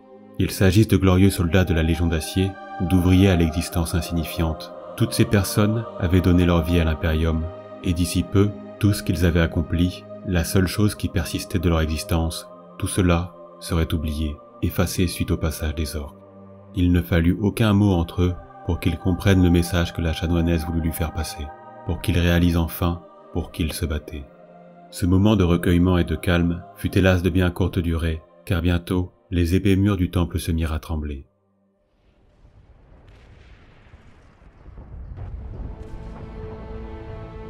Après quelques jours de répit, le plus gros des forces ennemies à l'ouest d'Elsrich avait finalement atteint les alentours du temple et avait mis en place son artillerie pour commencer à pilonner le sanctuaire. Bien que le plus gros des tirs visait à détruire les murailles extérieures entourant le cimetière, un déluge de feu incessant ne cessait cependant de frapper les toits du temple. Bien que les générateurs de champs à énergie protégeaient l'intégrité de la structure, le spectacle était néanmoins impressionnant. Un vacarme insupportable où à chaque impact, des morceaux de pierre et de la poussière se détachaient de ces antiques murs. Pourtant, ce n'était là que les tirs d'artillerie et les quelques gargantes encore restants au sein d'Elsrich n'étaient quant à eux pas encore arrivés pour prendre part à l'assaut. Au cours de ces semaines de conflit, les titans de la Legio Invigilita avaient détruit des centaines de ces abominations, et il n'en restait maintenant plus que quelques dizaines. Les pilotes de ces terribles machines avaient appris au cours de ces semaines de bataille à craindre la Légio, et notamment la promesse de mort que représentait Stormy Hold. Se dressant de toute sa taille, le dieu de la guerre, malgré les explosions incessantes faisant crépiter ses immenses boucliers énergétiques, continuait de protéger le quartier du temple de toute intrusion des machines de guerre orques. Zara et ses princeps minoris étaient exténués par ce combat, ne s'étant pas reposés depuis maintenant des jours. Mais c'est après avoir détruit leur vingtième gargante lors de cette journée que l'ospex de la machine détecta une activité anormale à quelques kilomètres au nord-est. Pensant tout d'abord à une erreur suite aux dégâts subis, l'équipage analysa l'arrivée d'un engin d'une taille tout simplement impossible. Considérant ne plus pouvoir se fier aux ospex, la Princeps Majoris envoya en éclaireur les deux derniers titans Warhound se battant à ses côtés. Après plusieurs heures de cette chasse à travers les avenues de la cité, Zara perdit tout d'abord le contact avec Firna, puis quelques minutes plus tard avec l'Ivory Feng. Ne pouvant concevoir que deux tout-puissants titans du Mechanicus avaient été vaincus en si peu de temps, Storm Hero se pressa de se rendre près du secteur de la fonderie, à l'endroit de leur dernière transmission. Arrivant près des restes de l'Ivory Feng, l'impérator ne put que s'immobiliser pour observer l'ombre d'une forme colossale se dessinant à travers les immenses nuages de poussière. S'avançant, faisant s'écrouler à chacun de ses pas les bâtiments alentours, un gargante monstrueux, dépassant en taille celle du titan Imperator, émergea de la fumée pour venir se dresser face à Storm Herald.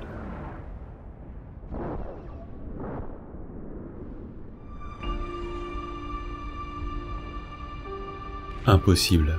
Voici le seul mot qui traversa l'esprit de la princesse Zara pour décrire ce qui se tenait face à elle. Cette abomination défiait en effet toute logique. Une monstruosité qui n'aurait jamais dû exister et encore moins pouvoir se mouvoir. Pourtant, Déicide se tenait face à elle. Symbole de la folie des peaux vertes, celui-ci avait été bâti dans les ruines de la cité russe Stygia, tombée il y a quelques semaines de cela. Un gargante aux proportions irréelles, conçu dans le seul but de faire face au dieu de la guerre d'Elsrich. Derrière les innombrables couches composées de plaques de métal et de tôles superposées formant sa carapace, avaient été amassées plusieurs centaines de pièces d'artillerie et d'armes diverses et variées, maniées par un équipage de plusieurs milliers de peaux vertes. Une puissance de feu hallucinante qui avait vaporisé les boucliers à énergie des titans Warhound en quelques secondes avant de les détruire. Jamais Storm Hero n'avait fait face à un tel défi. Mais malgré cela, l'esprit de Zara, fusionné à celle de la machine, ne ressentait aucune peur et ne désirait qu'une seule chose, prouver que rien ne serait en mesure de se dresser face à elle.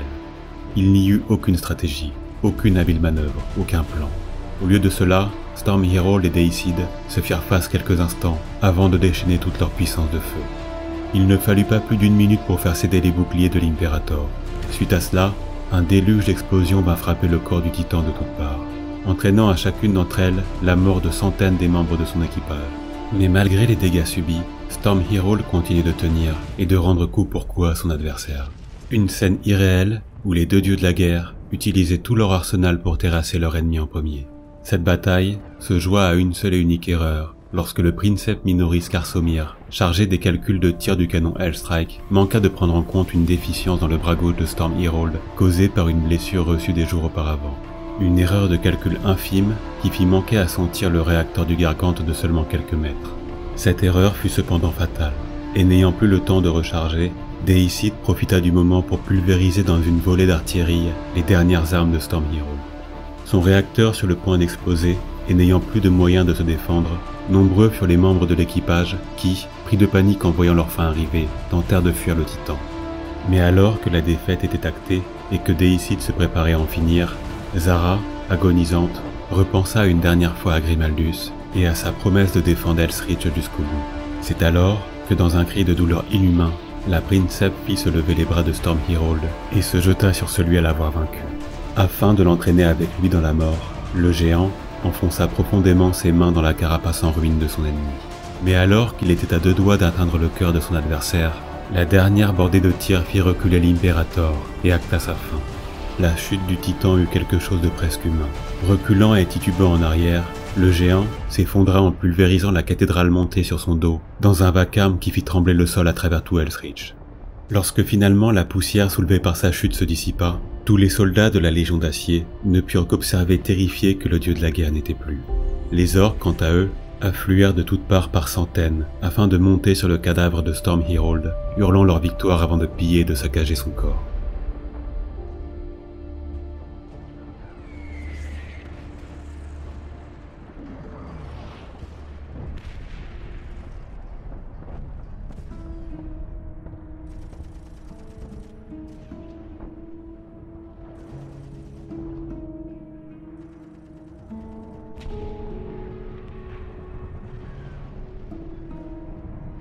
Les murailles avaient été franchies depuis des heures maintenant, et le cimetière était devenu un immense champ de bataille où les derniers soldats de la Légion d'Acier se battaient côte à côte avec les sœurs de l'Adepta Sororitas.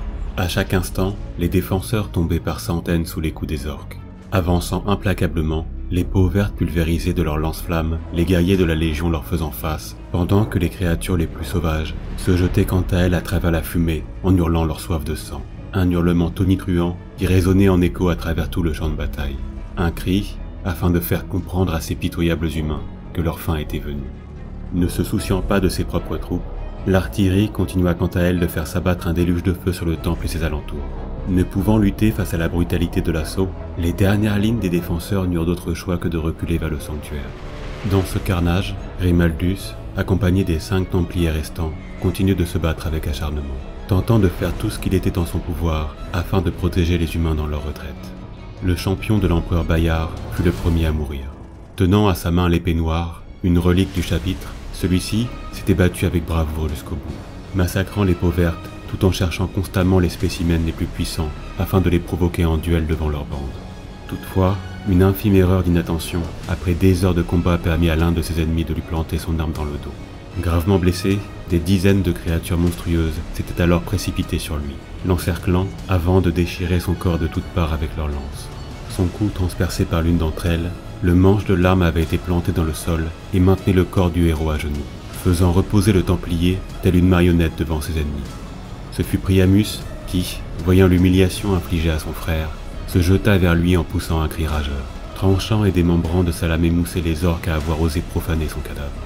Ne pouvant laisser le champion reposer d'une façon aussi ignoble, l'épéiste s'agenouilla en plein cœur de la mêlée pour retirer la lance et permettre au corps du héros de toucher le sol. À genoux devant son ancien maître d'armes, les orques empêchèrent le Templier de se relever, l'attaquant de toutes parts, plantant leur lance dans ses flancs. Alors qu'il serrait les dents, en refusant que de pitoyables Xénos puissent entendre sa douleur, ce fut Grimaldus qui ordonna à l'épéiste de ramasser l'épée noire du champion de l'empereur et de lui succéder. Un ordre qui signifiait qu'il ne pouvait plus mourir et que ses frères avaient besoin de lui. Obéissant à son réclusiarque et saisissant la relique au pied de Bayard, Priamus se redressa en poussant un hurlement tonitruant avant de laisser sa tristesse et sa colère se déchaîner sur ses ennemis. Pendant que les péistes massacraient ses adversaires dans une frénésie meurtrière, Bastilan, quant à lui, suite à la perte de son casque, se battait tête nue aux côtés d'Artarion et du réclusiarque. Se retournant après avoir oxy un peau verte monstrueux ayant voulu l'attaquer par derrière, son visage recouvert de sang et déformé par les blessures, explosa en une gerbe de sang suite au tir de bolter d'un orque. Le Xénos n'eut toutefois pas le temps de se réjouir de sa victoire, et quelques secondes plus tard à peine, son crâne fut pulvérisé par la masse d'armes de Grimaldus. Nérovar, lui, continuait de tuer froidement ses adversaires les uns après les autres, alors que des larmes ne cessaient de couler sur sa peau pâle. Ses frères allaient lui manquer, et ce qui le peinait le plus était que jamais leur patrimoine génétique ni leur corps ne pourraient être récupérés. Continuant à se battre à travers ce chaos, les Templiers massacrèrent inlassablement les guerriers orcs qui ne cessaient de se jeter sur eux. Mais alors que la situation ne pouvait pas être pire, le réclusiarque reçut une transmission lui indiquant que Déicide avait été aperçu aux alentours du temps et qu'il se rapprochait. Ne pouvant finalement plus tenir, les guerriers de la Légion d'Acier encore vivants, accompagnés des sœurs et des quelques Black Templars survivants, continuèrent à reculer vers les murs du sanctuaire tout en se battant. Lorsque Déicide arriva sur le champ de bataille, celui-ci pulvérisa en quelques instants les derniers blindés impériaux encore opérationnels avant de pointer ses armes vers le temple. Mais alors qu'il s'apprêtait à faire feu, un tir à plasma d'une puissance folle va l'interrompre. À quelques centaines de mètres de là, les derniers titans de la Legio Invigilita, accompagnés de l'Ordinatus Oberon, s'étaient rassemblés pour venger la mort de Storm Hero.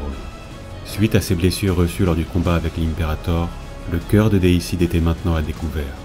Voyant là une occasion unique et profitant du dernier cadeau que Zara et Hero leur avaient fait, les titans protégèrent la machine de guerre Oberon pendant que celle-ci plaça un ultime tir qui vint frapper le réacteur du Gargante, provoquant une explosion tonitruante et la mort de Déicide.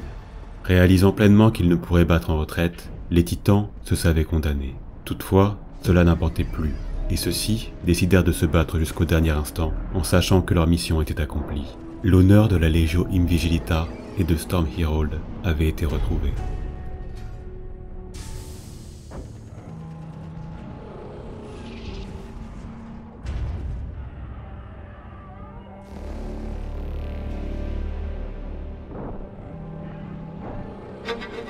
Hélas, la mort de Déicide ne changea en rien la situation des défenseurs. Et alors que le temple continuait de subir les frappes incessantes des tirs d'artillerie, la marée des peaux vertes s'engouffra toujours plus profondément dans le sanctuaire, jusqu'à atteindre la nef. Là-bas, au cœur de l'immense salle, des milliers de guerriers de la Légion, des civils, des miliciens et des sœurs de bataille se tenaient les uns contre les autres dans un dernier carré. Un carnage prit alors place dans le lieu le plus sacré de ce monde. Un carnage inimaginable au sein duquel l'air empestait la laine fétide des Xénos, les entrailles et l'odeur d'ozone des tirs de laser. Dans ce chaos où à chaque moment des dizaines de guerriers succombaient sous les coups des peaux vertes, Grimaldus continuait lui de se battre avec acharnement, brisant de son Crocius les corps des créatures qui se jetaient sur lui. Son regard s'arrêta néanmoins un instant pour constater de la sauvagerie répugnante de ses ennemis, lorsque ceux-ci éviscérèrent une jeune sœur du suaire d'argent se battant à sa droite. Ce fut Artarion qui, de ses deux épées tronçonneuses, apporta la vengeance à la jeune fille, déchirant les corps des créatures à lui avoir ôté la vie avant de reprendre sa place aux côtés de Grimaldus. Durant de longues minutes, les deux frères d'armes luttèrent dans une harmonie parfaite, emportant des dizaines de leurs ennemis. Ces efforts semblaient néanmoins futiles, car à chaque Zénos abattu, quatre autres s'empressaient de le remplacer, trop heureux de pouvoir à leur tour assouvir leur soif de sang. Sortant de la frénésie des combats l'espace d'un instant, le réclusiarque se retourna pour croiser le regard de la chanoinesse qui tentait de motiver les derniers défenseurs. C'est alors finalement, il réalisa que la fin était venue. Dans cet abattoir, nombreux furent ceux qui, pris de panique, tentèrent de fuir, sans toutefois réaliser qu'il n'y avait plus aucun endroit où se cacher. Néanmoins, la majorité de ces hommes et femmes luttèrent vaillamment jusqu'au bout pour retenir l'avancée des orques. Fier en observant leur courage, Grimaldus saisit à la gorge l'immense créature à lui faire face de son gantelet et la traîna avec lui. Montant sur l'autel trônant au centre de la nef, afin que tous puissent le voir, le réclusiarque, malgré les tirs se fracassant contre son armure, enroula la chaîne de son poignet autour du cou de l'orque et hurla à tous les guerriers ici présents de continuer de se battre, avant que dans un cri de rage tonitruant, il ne resserre ses chaînes et brise la colonne vertébrale de la créature.